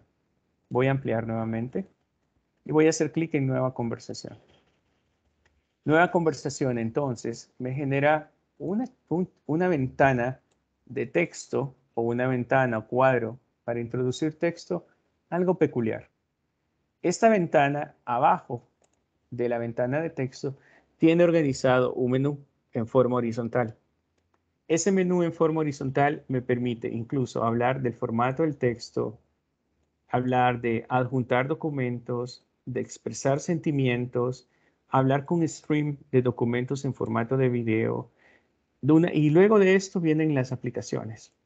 Ya es algo que me, ya es un instrumento que me permite agregar aplicaciones como, eh, ¿cómo se dice esto? Em, premios, aprobaciones en las reuniones. Esto de aquí es, no me recuerdo el nombre, ya lo vamos a ver. Esto de aquí es YouTube. Y luego tenemos al final los puntos suspensivos. Y estos puntos suspensivos son más opciones. Y esas más opciones me van a permitir integrar un menú emergente que me va a dar más opciones para poder trabajar el proceso. Y todo eso se concretiza siempre y cuando finalice con enviar. Entonces no es una no es un chat por decirles es un chat. Y algo bien interesante, recuerden, cuando yo construyo un, un mensaje de comunicación aquí, construyo un mensaje que se convierte en un email para aquel que está offline. Entonces, y también para el que está online en realidad. Entonces hay un, hay un robot, hay un bot de mensajería de Teams que se encarga que el 100% sepa lo que está ocurriendo. Y también cuando esto ocurre y nadie está pendiente, acuérdense, Aquí hay una campanita que me dice algo ocurre. Y si yo me lo estoy perdiendo, pues es esta conversación que estoy escribiendo acá, acción o compartir documentos, expresión de sentimientos que está ocurriendo en ese momento. Por ejemplo, entonces voy a ir a nueva conversación. Aquí hay un mensaje, miren, un mensaje oculto. ¿Por qué? Eh, Viva Learning. Muy bien, ya vamos a hablar de Viva Learning, que es una aplicación espectacular. Y vean lo que está pasando. Yo no estoy atento a las conversaciones, lo que estoy platicando con ustedes, y ya empieza a tomar una dinámica el canal general, pero aquí hay una alerta. Entonces, en el tema de People Management, ¿qué es lo que tengo que hacer? Ver de lo que me estoy perdiendo. Ah, un usuario reaccionó. ¿Quién fue el usuario que reaccionó? Ah, o clic. Y en la conversación que tenemos, me va a decir el usuario que reaccionó justamente a lo que estamos hablando. Acá está, por ejemplo, eh, hay alguien reaccionó sumamente bien a este comentario. Súper. Y ahí vamos trabajando. Regreso a equipos, voy viendo mi People Management y este, sigo avanzando. Buenísimo. Entonces, voy a nueva conversación y hagamos clic en el primero de las opciones que se llama formatos. Y si hago clic en formatos, vean, la caja de texto inicial para crear la conversación se modifica. Y esa caja de textos lleva algo súper trascendental en este momento. Opciones de crear una nueva conversación, pero estas opciones de crear una nueva conversación estamos a punto de modificarlas, que es esto.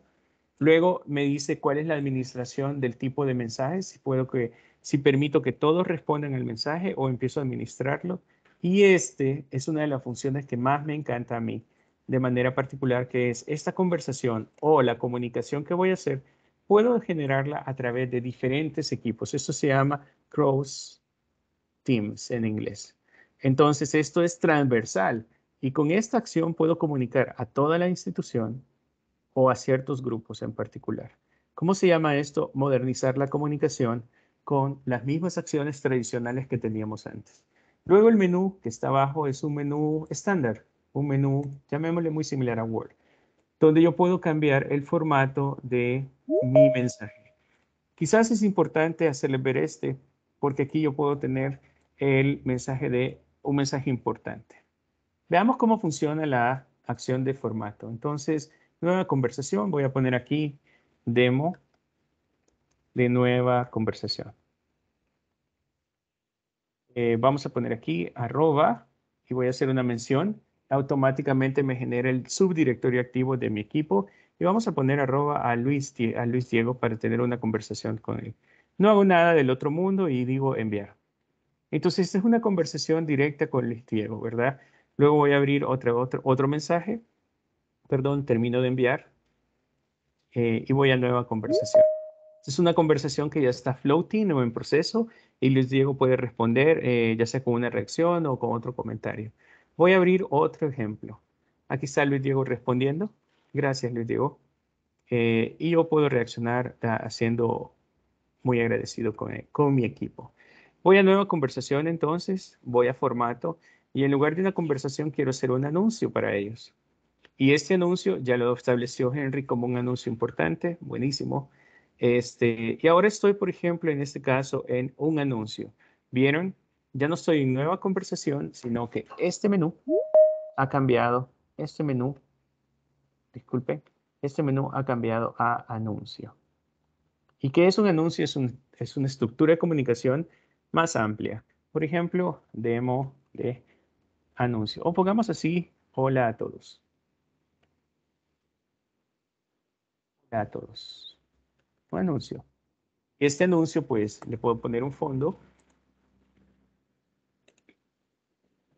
Un fondo liso. Puedo colocar un, un fondo ya eh, con un diseño, ¿verdad? Puedo ocupar este, por ejemplo genérico. Como es educativo, tengo de clase, tengo de clubes. Puedo colocar no algo que no duerma, sino algo más institucional. Eh, este, por ejemplo, digamos. Aquí para los diferentes, ¿cómo diría yo? Estilos o gustos, ¿verdad? Voy a quedarme con este que me gusta mucho. Entonces voy a poner aquí que esto es un demo. No voy a, eh, eh, no voy, no voy a seleccionar a nadie. Es un demo Voy a, voy a ocupar la parte de la administración, voy a decir de puntos suspensivos, este es un, un, anuncio importante. ¿Por qué? Porque todos pueden responder, pero cuando hago clic en publicar en varios canales, pues entonces voy a seleccionar los canales. Y como ya tenía otros grupos, puedo decir que este es un anuncio importante para la clase de economía. Este es un anuncio importante para la clase de economía Demo 100, pero para el área de la unidad 1 y el canal general, por ejemplo. Esos estudiantes quiero que vean. Para mi grupo de investigación en el canal general y para mi grupo de recursos en el canal general. Estos son grupos que ya tenía hechos, que también vamos a aprender a hacer y luego volvemos a repetir esta práctica para que vean la claridad. Lo que quiero rescatar es que si yo tuviera 100 grupos, yo puedo mandar el anuncio a 100 grupos. Y eso fue una de las características que me ayudó a comunicarme con todos los profes de su país en el contexto de la formación moderna, porque hice 11 grupos cada uno tenía una especialización y simple y sencillamente con un anuncio y seleccionando los 11 grupos me comunicaba con el país. Entonces aquí vamos a hacer actualizar y como pueden ver me estoy comunicando con mi Demo 400, que es, hablamos de registro académico, y con otros grupos que están dentro de mi organización, tres canales más. Y aquí están los tres canales más. Entonces cuando yo hago seleccionar, digo que es importante y envío, en esta ventana de canal general, solo en la pestaña de publicaciones, yo estoy compartiendo este anuncio con muchos otros colaboradores. ¿Cómo puedo hacer? Vean, si nos retrocedemos acá con el hipervínculo y vamos a todos los equipos, entonces yo tengo, ¿se acuerdan aquí? Unos equipos escondidos. Estos equipos escondidos los puedo regresar para que eh, lo veamos como no equipos ocultos, sino como equipos, eh, ¿cómo se llaman estos? Mis equipos. Entonces voy a mostrarlo, así sencillo. Voy a mostrarlo.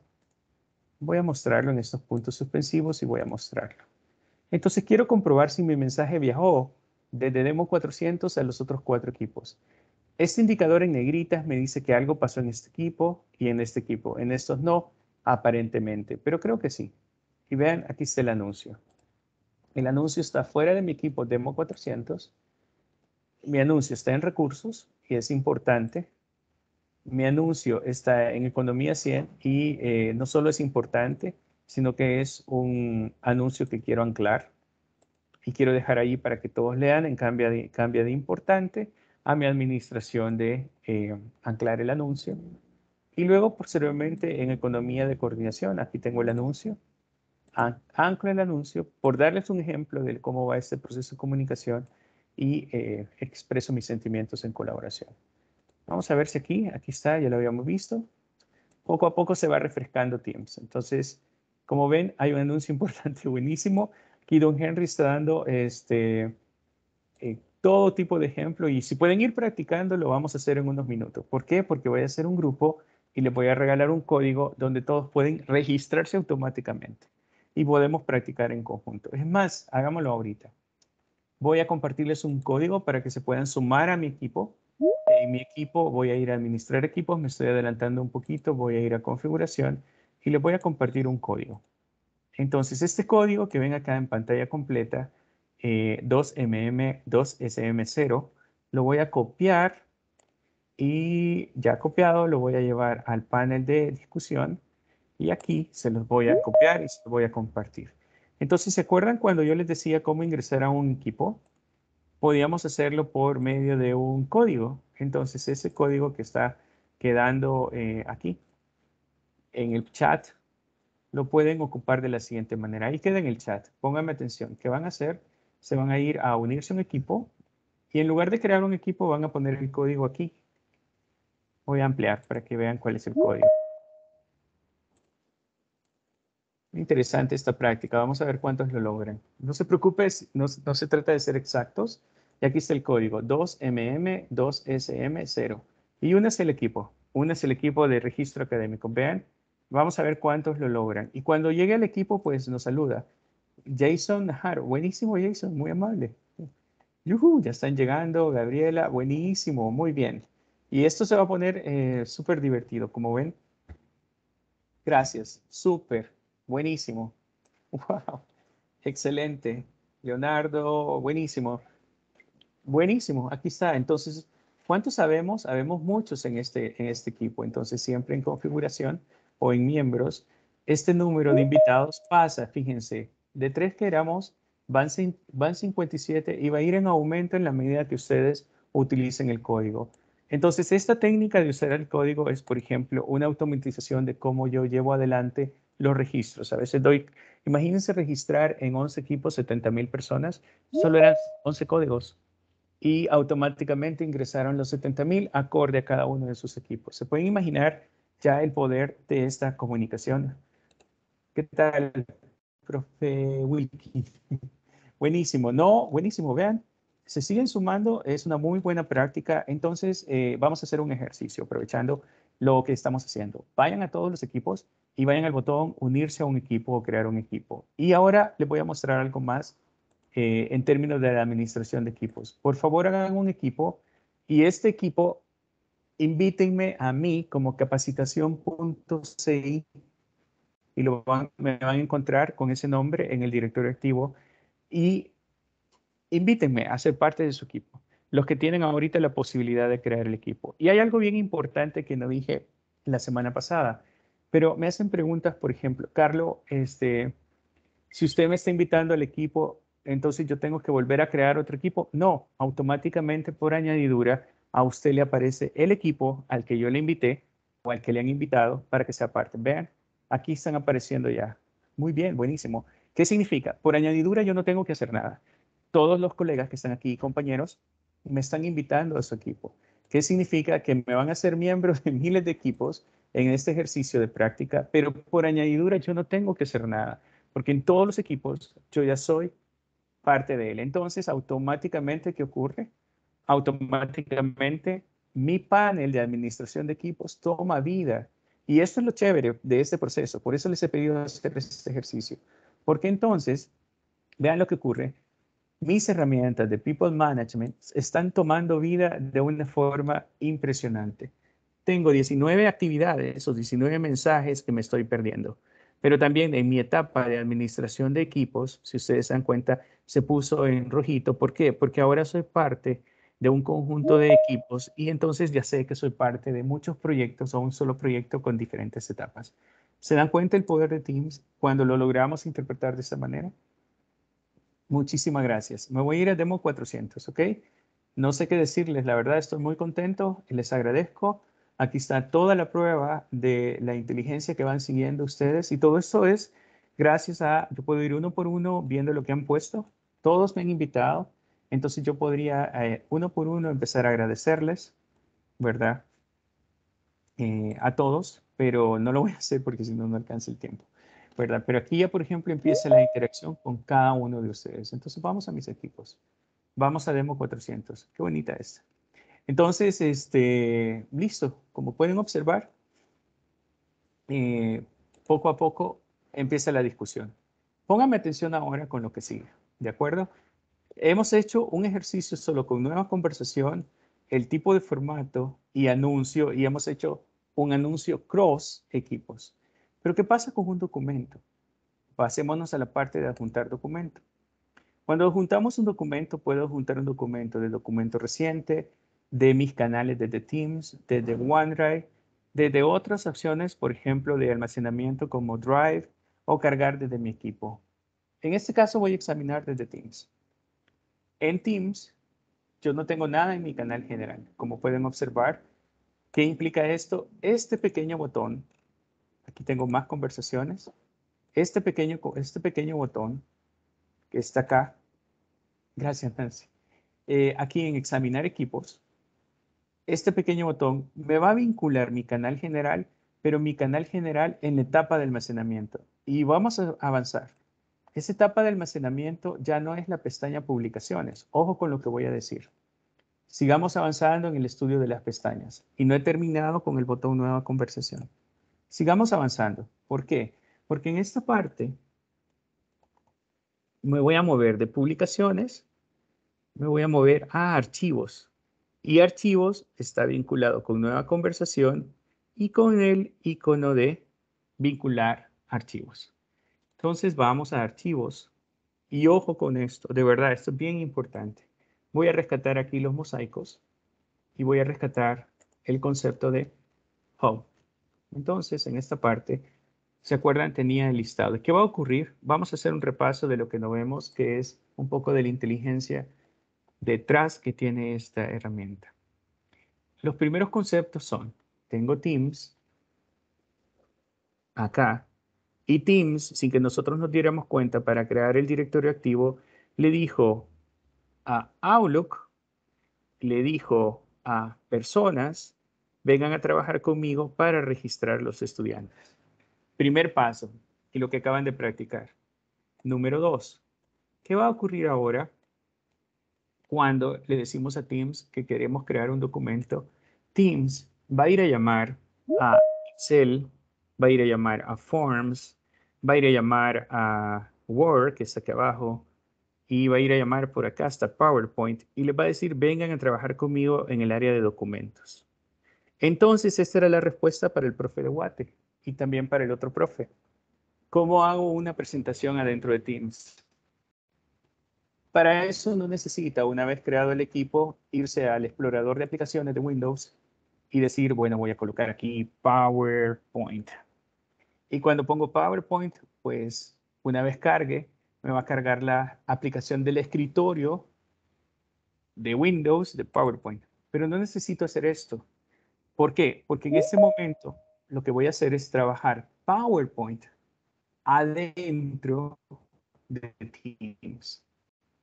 Y a partir de ahí voy a empezar a estructurar el desarrollo de ese escenario de productividad. Ahora, hay algo bien importante aquí. Cuando ustedes la aplicación de escritorio de PowerPoint. Si se fijan, yo aquí tengo una cuenta genérica. Voy a hacer sign out. ¿Qué significa? Que no está conectado a nada. Pero entonces voy a hacer sign in con la cuenta de la universidad. Déjenme ver si lo tengo por aquí. Entonces déjenme hacer sign in con la cuenta que ustedes me han brindado para estos ejercicios de los talleres.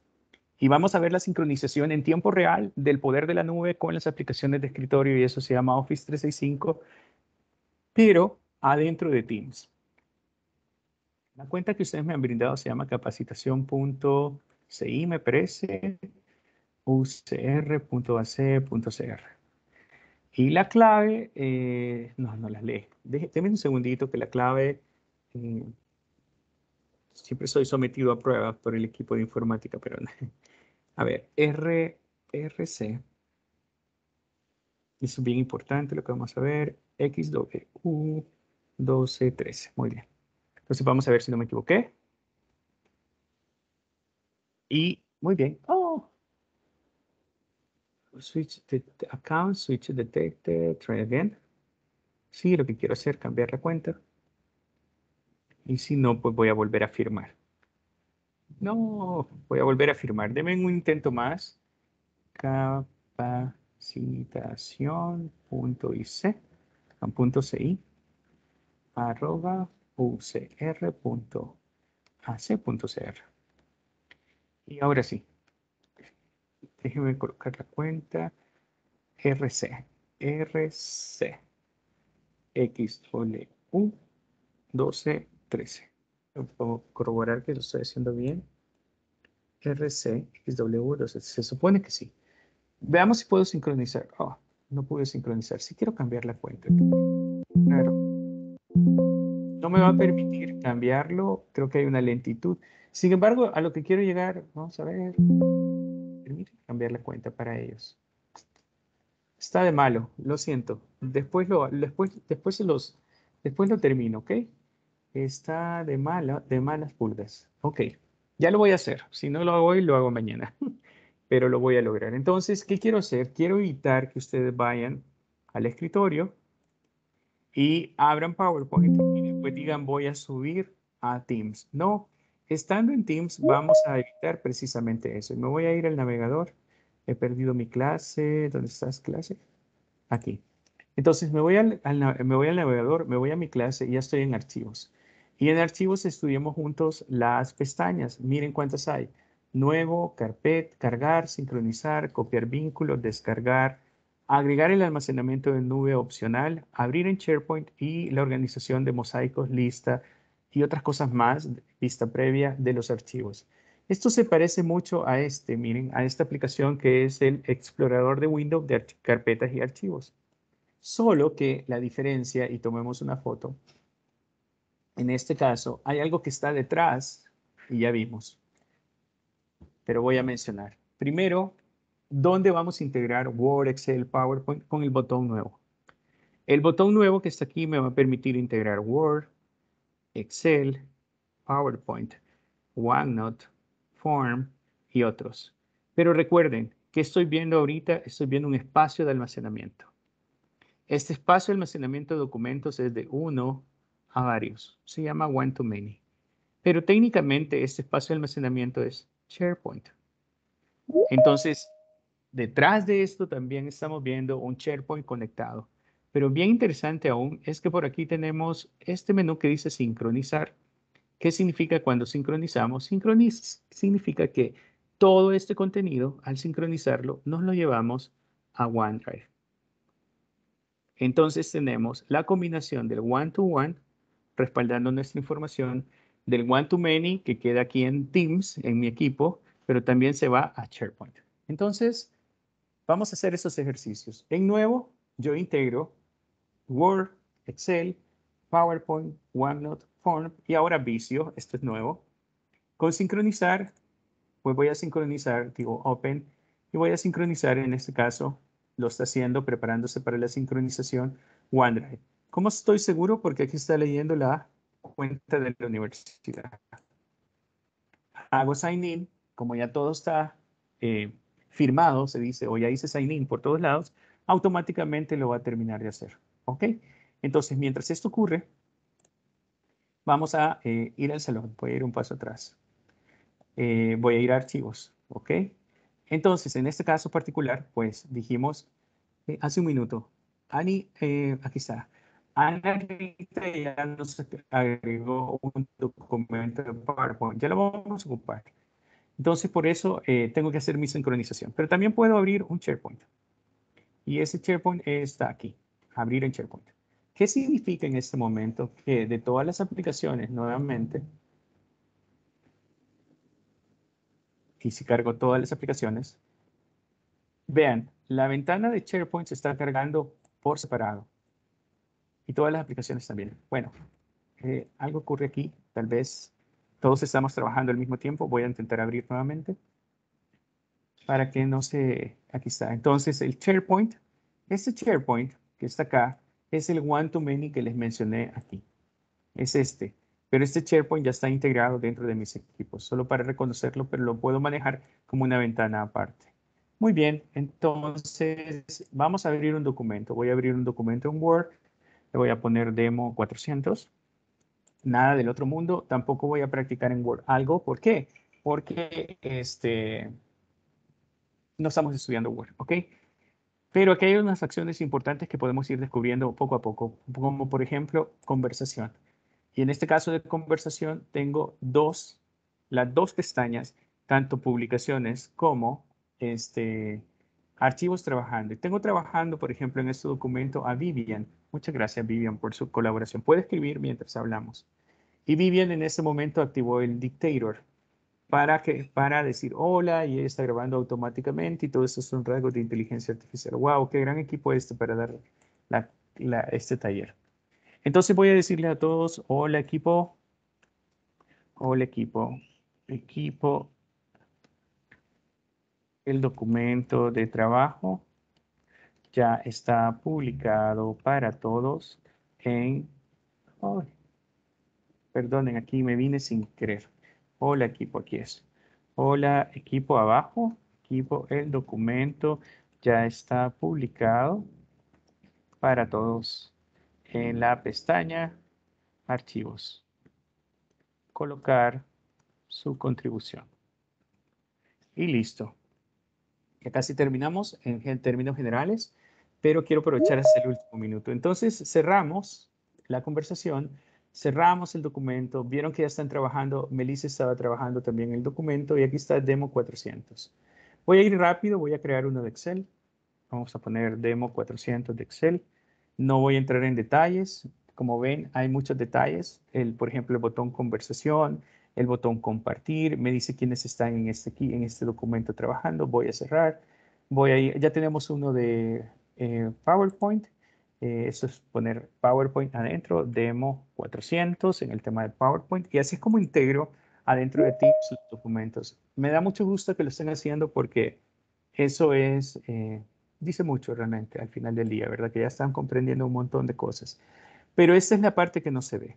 Ahora, por ejemplo, si queremos cargar algo de la computadora, quizás lo único de mencionarles aquí es que podemos cargar algo de la con algo, digamos, como un archivo que ya lo hacemos, pero también podemos cargar carpetas.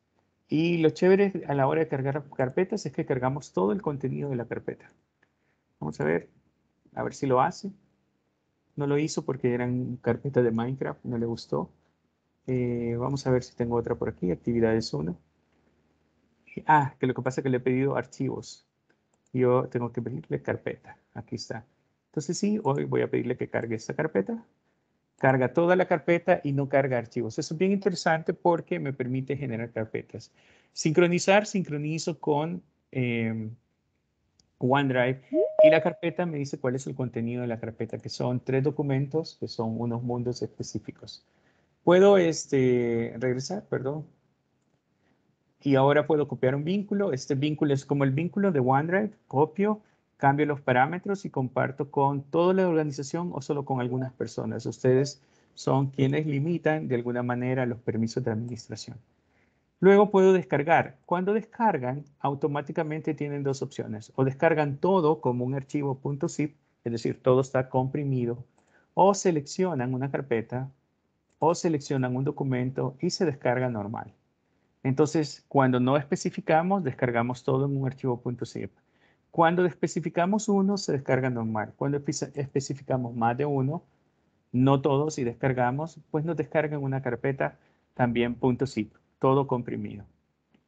Luego este, ya nos seleccionamos y luego tenemos agregar un espacio, un espacio de almacenamiento de nube. Como último ejercicio voy a hacer el espacio de almacenamiento de Google Drive. Y eh, ustedes pueden agregar el Dropbox, pueden agregar toda la cantidad de, escenarios que vieron colocados de alternativas de almacenamiento. Vamos a ver que esto ya al final se nos ha puesto un poco lento, pero quiero vincular eh, mi almacenamiento de Drive adentro de mi equipo por si necesitamos en algún momento tener no solo un espacio de almacenamiento one-to-one, -one, es decir, OneDrive, ahora junto con Drive, adentro de los recursos del equipo de trabajo. No lo está haciendo, luego lo hacemos. Abrir en SharePoint ya lo vieron y todos los documentos. Entonces, si se fijaron, yo publiqué que Demo 400 está listo. Por lo tanto, en publicaciones, aquí está. Diana Molina respondió, buenísimo Diana, gracias. El documento ya está publicado para todos. ¿Qué significa esto? Que si todos lo abren en este momento y como yo, pues podemos trabajar en forma colaborativa. ¿Y cómo voy a saber quiénes están o quiénes estuvieron? Porque empieza aquí a aparecer el listado de quienes están. Vean, en este momento hay 11 y rápidamente, si ustedes lo encuentran en su canal eh, general, en el área de publicaciones, pueden abrirlo nada más y comenzamos a trabajar en forma colaborativa. Me hacen preguntas como que, Carlos, ¿va a quedar una versión grabada de cada uno de los cambios? Por supuesto que sí. Se genera un historial de versiones y ese historial de versiones nos permite poco a poco ir rescatando versiones anteriores la versión más em, importante que se haya decidido hasta ese momento. Eso es de manera general. Hay 25 ahora trabajando eh, dentro del documento. Muy bien, buenísimo. Alguien preguntaba hasta cuántas personas podían trabajar. Yo no me acuerdo. Imagínense, yo empecé a estudiar cuando decían que solo 8. Hoy creo que no hay límites y en el equipo hay más de 70 personas hoy en este momento. Así que muy contento con eso. Para terminar, entonces, ya vimos un poco cargar los archivos. Las expresiones de sentimiento ustedes las han estado utilizando, que son los emoji, los gifs, este, eh, los stickers. Vamos a estar viendo cómo integrar aplicaciones. En este caso, después vamos a hablar de Stream. Stream es la aplicación para, para generar formatos de video o documentación en formato de video. Vamos a hablar de Prime o eh, Felicitar y permítanme felicitarlos en términos generales. Increíble todos y su desarrollo. Y esto va a ser una felicitación global, pero vamos a poner eh, a Melissa, Vamos a poner a Jairo. Vamos a poner a Luis Diego y a Don Henry. ¿Verdad? Que han sido los que las han llevado adelante en este proceso, ¿verdad? Increíble todos. Este, creo que aquí vamos todos. No me equivoqué, no sé si lo puse bien. No sé. Bueno, vamos a enviar esa, ojalá. No me equivoqué. Y aquí está como la, la felicitación, ¿verdad? Aquí está un mensaje de felicitación y aquí es donde todos reaccionamos, apoyan a los demás, elogian a sus compañeros, van reaccionando. Es una aplicación más, ¿verdad? Donde todos van colaborando de alguna manera. Entonces, este, regreso a equipos, comunicación, y lo que nos queda por ver después de las expresiones es, por ejemplo, una eh, aplicación de aprobaciones. Esto es como, por, por ejemplo, decir, queremos eh, una aprobación sobre una actividad, digamos, esto es una actividad básica sin firmas, quiero usar, eh, saldremos de vacaciones el viernes, no, o, este, todos están de acuerdo de salir de vacaciones el viernes, porque se acerca Semana Santa, por ejemplo. Sí, entonces, ¿quiénes son los approvals? Vamos a poner a básicamente a Henry, a Melissa y nada más, ¿verdad? Por ahora. Eh, y es una aplicación sencilla. Enviamos y en la conversación vamos pidiendo aprobaciones sobre la reunión. Eso de manera general. Y aquí está las aprobaciones, cómo se van a ir viendo. Aquí está approval. Todo esto son inteligencia artificial. Luego tenemos YouTube. Por ejemplo, aquí está YouTube, tutorial de Teams. Veamos qué nos aparece y podemos compartir un tutorial de Teams. Este, por ejemplo, y eh, les digo a todos, por favor, compartan el tutorial de Teams o estudien el tutorial de Teams. Y tengo un poco más, pero estas, estas aplicaciones, después de archivos, sigue más aplicaciones. Aquí está, miren, agregar una pestaña implica ahora sí ver en vivo el concepto de Hub de Microsoft Teams. Y es aquí donde ustedes eligen las aplicaciones de terceros. Aquí hay una gran cantidad de aplicaciones de terceros, donde unas son parcialmente gratuitas y el resto se paga y otras son completamente gratuitas. Entre ellas, una de las que vamos a ver hoy es Stream. Vamos a buscar un documento. Aquí tienen YouTube, tienen PDF, tienen una serie de recursos que vamos a ir estudiando poco a poco. Por si se preguntan cómo YouTube, es muy similar al anterior, pero ahora se va a generar como una pestaña. Y este, si yo encuentro por aquí algo de eh, la UCR de Costa Rica, vamos a ver qué aparece. Tiene que aparecer algo institucional, por ejemplo, este está muy bonito, sin ninguna intención de nada, nada más como un ejemplo. Entonces aparecen pestañas, ¿ven? Y esta pestaña se complementa con la pestaña publicación y pestaña archivos. Carlos, es que esa no nos representa, entonces quítenla, ¿verdad? La quitamos y luego agregamos otras. Y así va precisamente usted integrando todo el proceso de colaboración. Nos vamos a quedar hasta aquí porque falta mucho, en realidad. Falta la segunda parte. La segunda parte va a ser construir canales. Nos vamos a convertir en arquitectos, vamos a estudiar el proyecto, vamos a participar más y después vamos a ver otros tipos de equipos. Veamos si está activo en lo que le dimos tiempo, solo para no quedarnos ahí eh, con la duda o la inquietud. No, todavía no está activo y vamos a revisar con el equipo para que lo tengan listo mañana. Estimado eh, don Henry, Jairo, Diego, Melissa, me quedo hasta acá. Muchísimas, gracias. Carlos. Muchísimas gracias, Carlos. Tenemos unas cuantas consultas generales. No sé si tenemos tiempo de contestarlas. De mi parte, tienen mucho tiempo todavía. No hay ningún problema. Perfecto. Entonces vamos a aprovechar para contestarlas. La primera era por el límite de personas por llamada y si se puede hacer transmisión por redes sociales como Facebook o YouTube. Este, les voy a contar algo muy rápido. Teams va en evolución. Em, mañana vamos a ver la parte de comunicación. Una reunión estándar de Teams como esta tiene una capacidad para mil personas. Todos pueden interactuar con cámara y micrófono.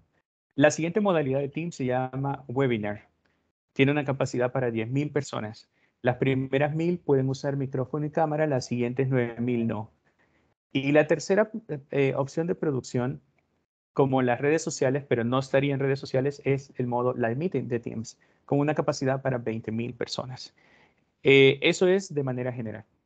Ahora, es, el equivalente a Facebook, ¿verdad? Los eventos en vivo. Esas son las capacidades. No es que Teams trabaje integrado con Facebook hoy por hoy, cada quien tiene su individualidad, pero la opción equivalente es el live meeting. Perfecto, gracias. La siguiente consulta es si en un equipo se puede visualizar quiénes vieron mi mensaje. Eh, en un equipo, sí, por supuesto. Este, en un equipo, ustedes, el mensaje que están enviando, queda algo bien importante que no dije. Todo lo que pongan en el chat, enojos, sentimientos en contra, todo lo que pongan en el chat de Teams queda registrado para siempre, aun cuando se borra. El administrador tiene la posibilidad de este, extraer esa información por un máximo de 30 días. ¿Por qué? Porque acuérdense que son instrumentos de auditoría de proyectos. Entonces queda un récord de todo y de quienes están trabajando, incluso de quienes han leído mis mensajes. Teams, cuando alguien no lee un mensaje, automáticamente envía un correo electrónico para asegurarse que todos lean el mensaje. Este, este es un corolario, digamos. Teams se va a encargar con su algoritmo de inteligencia artificial que nadie se pierda el contexto. Por lo tanto, Teams va a garantizar que todos, todos vean el mensaje. Perfecto, gracias. La siguiente consulta es si todos los miembros de un equipo tienen acceso a los canales, a todos los canales. Sí, nos faltó ver eso. Nosotros podemos restringir esos permisos a los miembros. Los miembros pueden ser eh, propietarios como, nosotros, los que creamos el equipo y tener todos los permisos, tener acceso a todos los canales, eliminarlos, modificarlos, subir aplicaciones, todo, todo, todo lo pueden hacer eh, siempre y cuando nosotros regulemos los equipos, por supuesto que sí. O los limitamos, ¿verdad? Solo a participar de los canales nuevos y no modifiquen nada, pero sí se puede. Perfecto. Y la última consulta es, cuando un equipo ya no es funcional, ¿se puede eliminar? Sí, se elimina y el administrador tiene, la, tiene 30 días o el dueño del equipo tiene 30 días para solicitar restablecer absolutamente toda la información del equipo eh, desde la consola de Office 365 en el panel de Teams. Al eliminarlo, pues nos quedan 30 días para arrepentirnos si queremos nuevamente el equipo. Pero sí, eh, queda ya en manos de la administración. Mercedes Ramírez tiene una pregunta por si le abrimos el micrófono.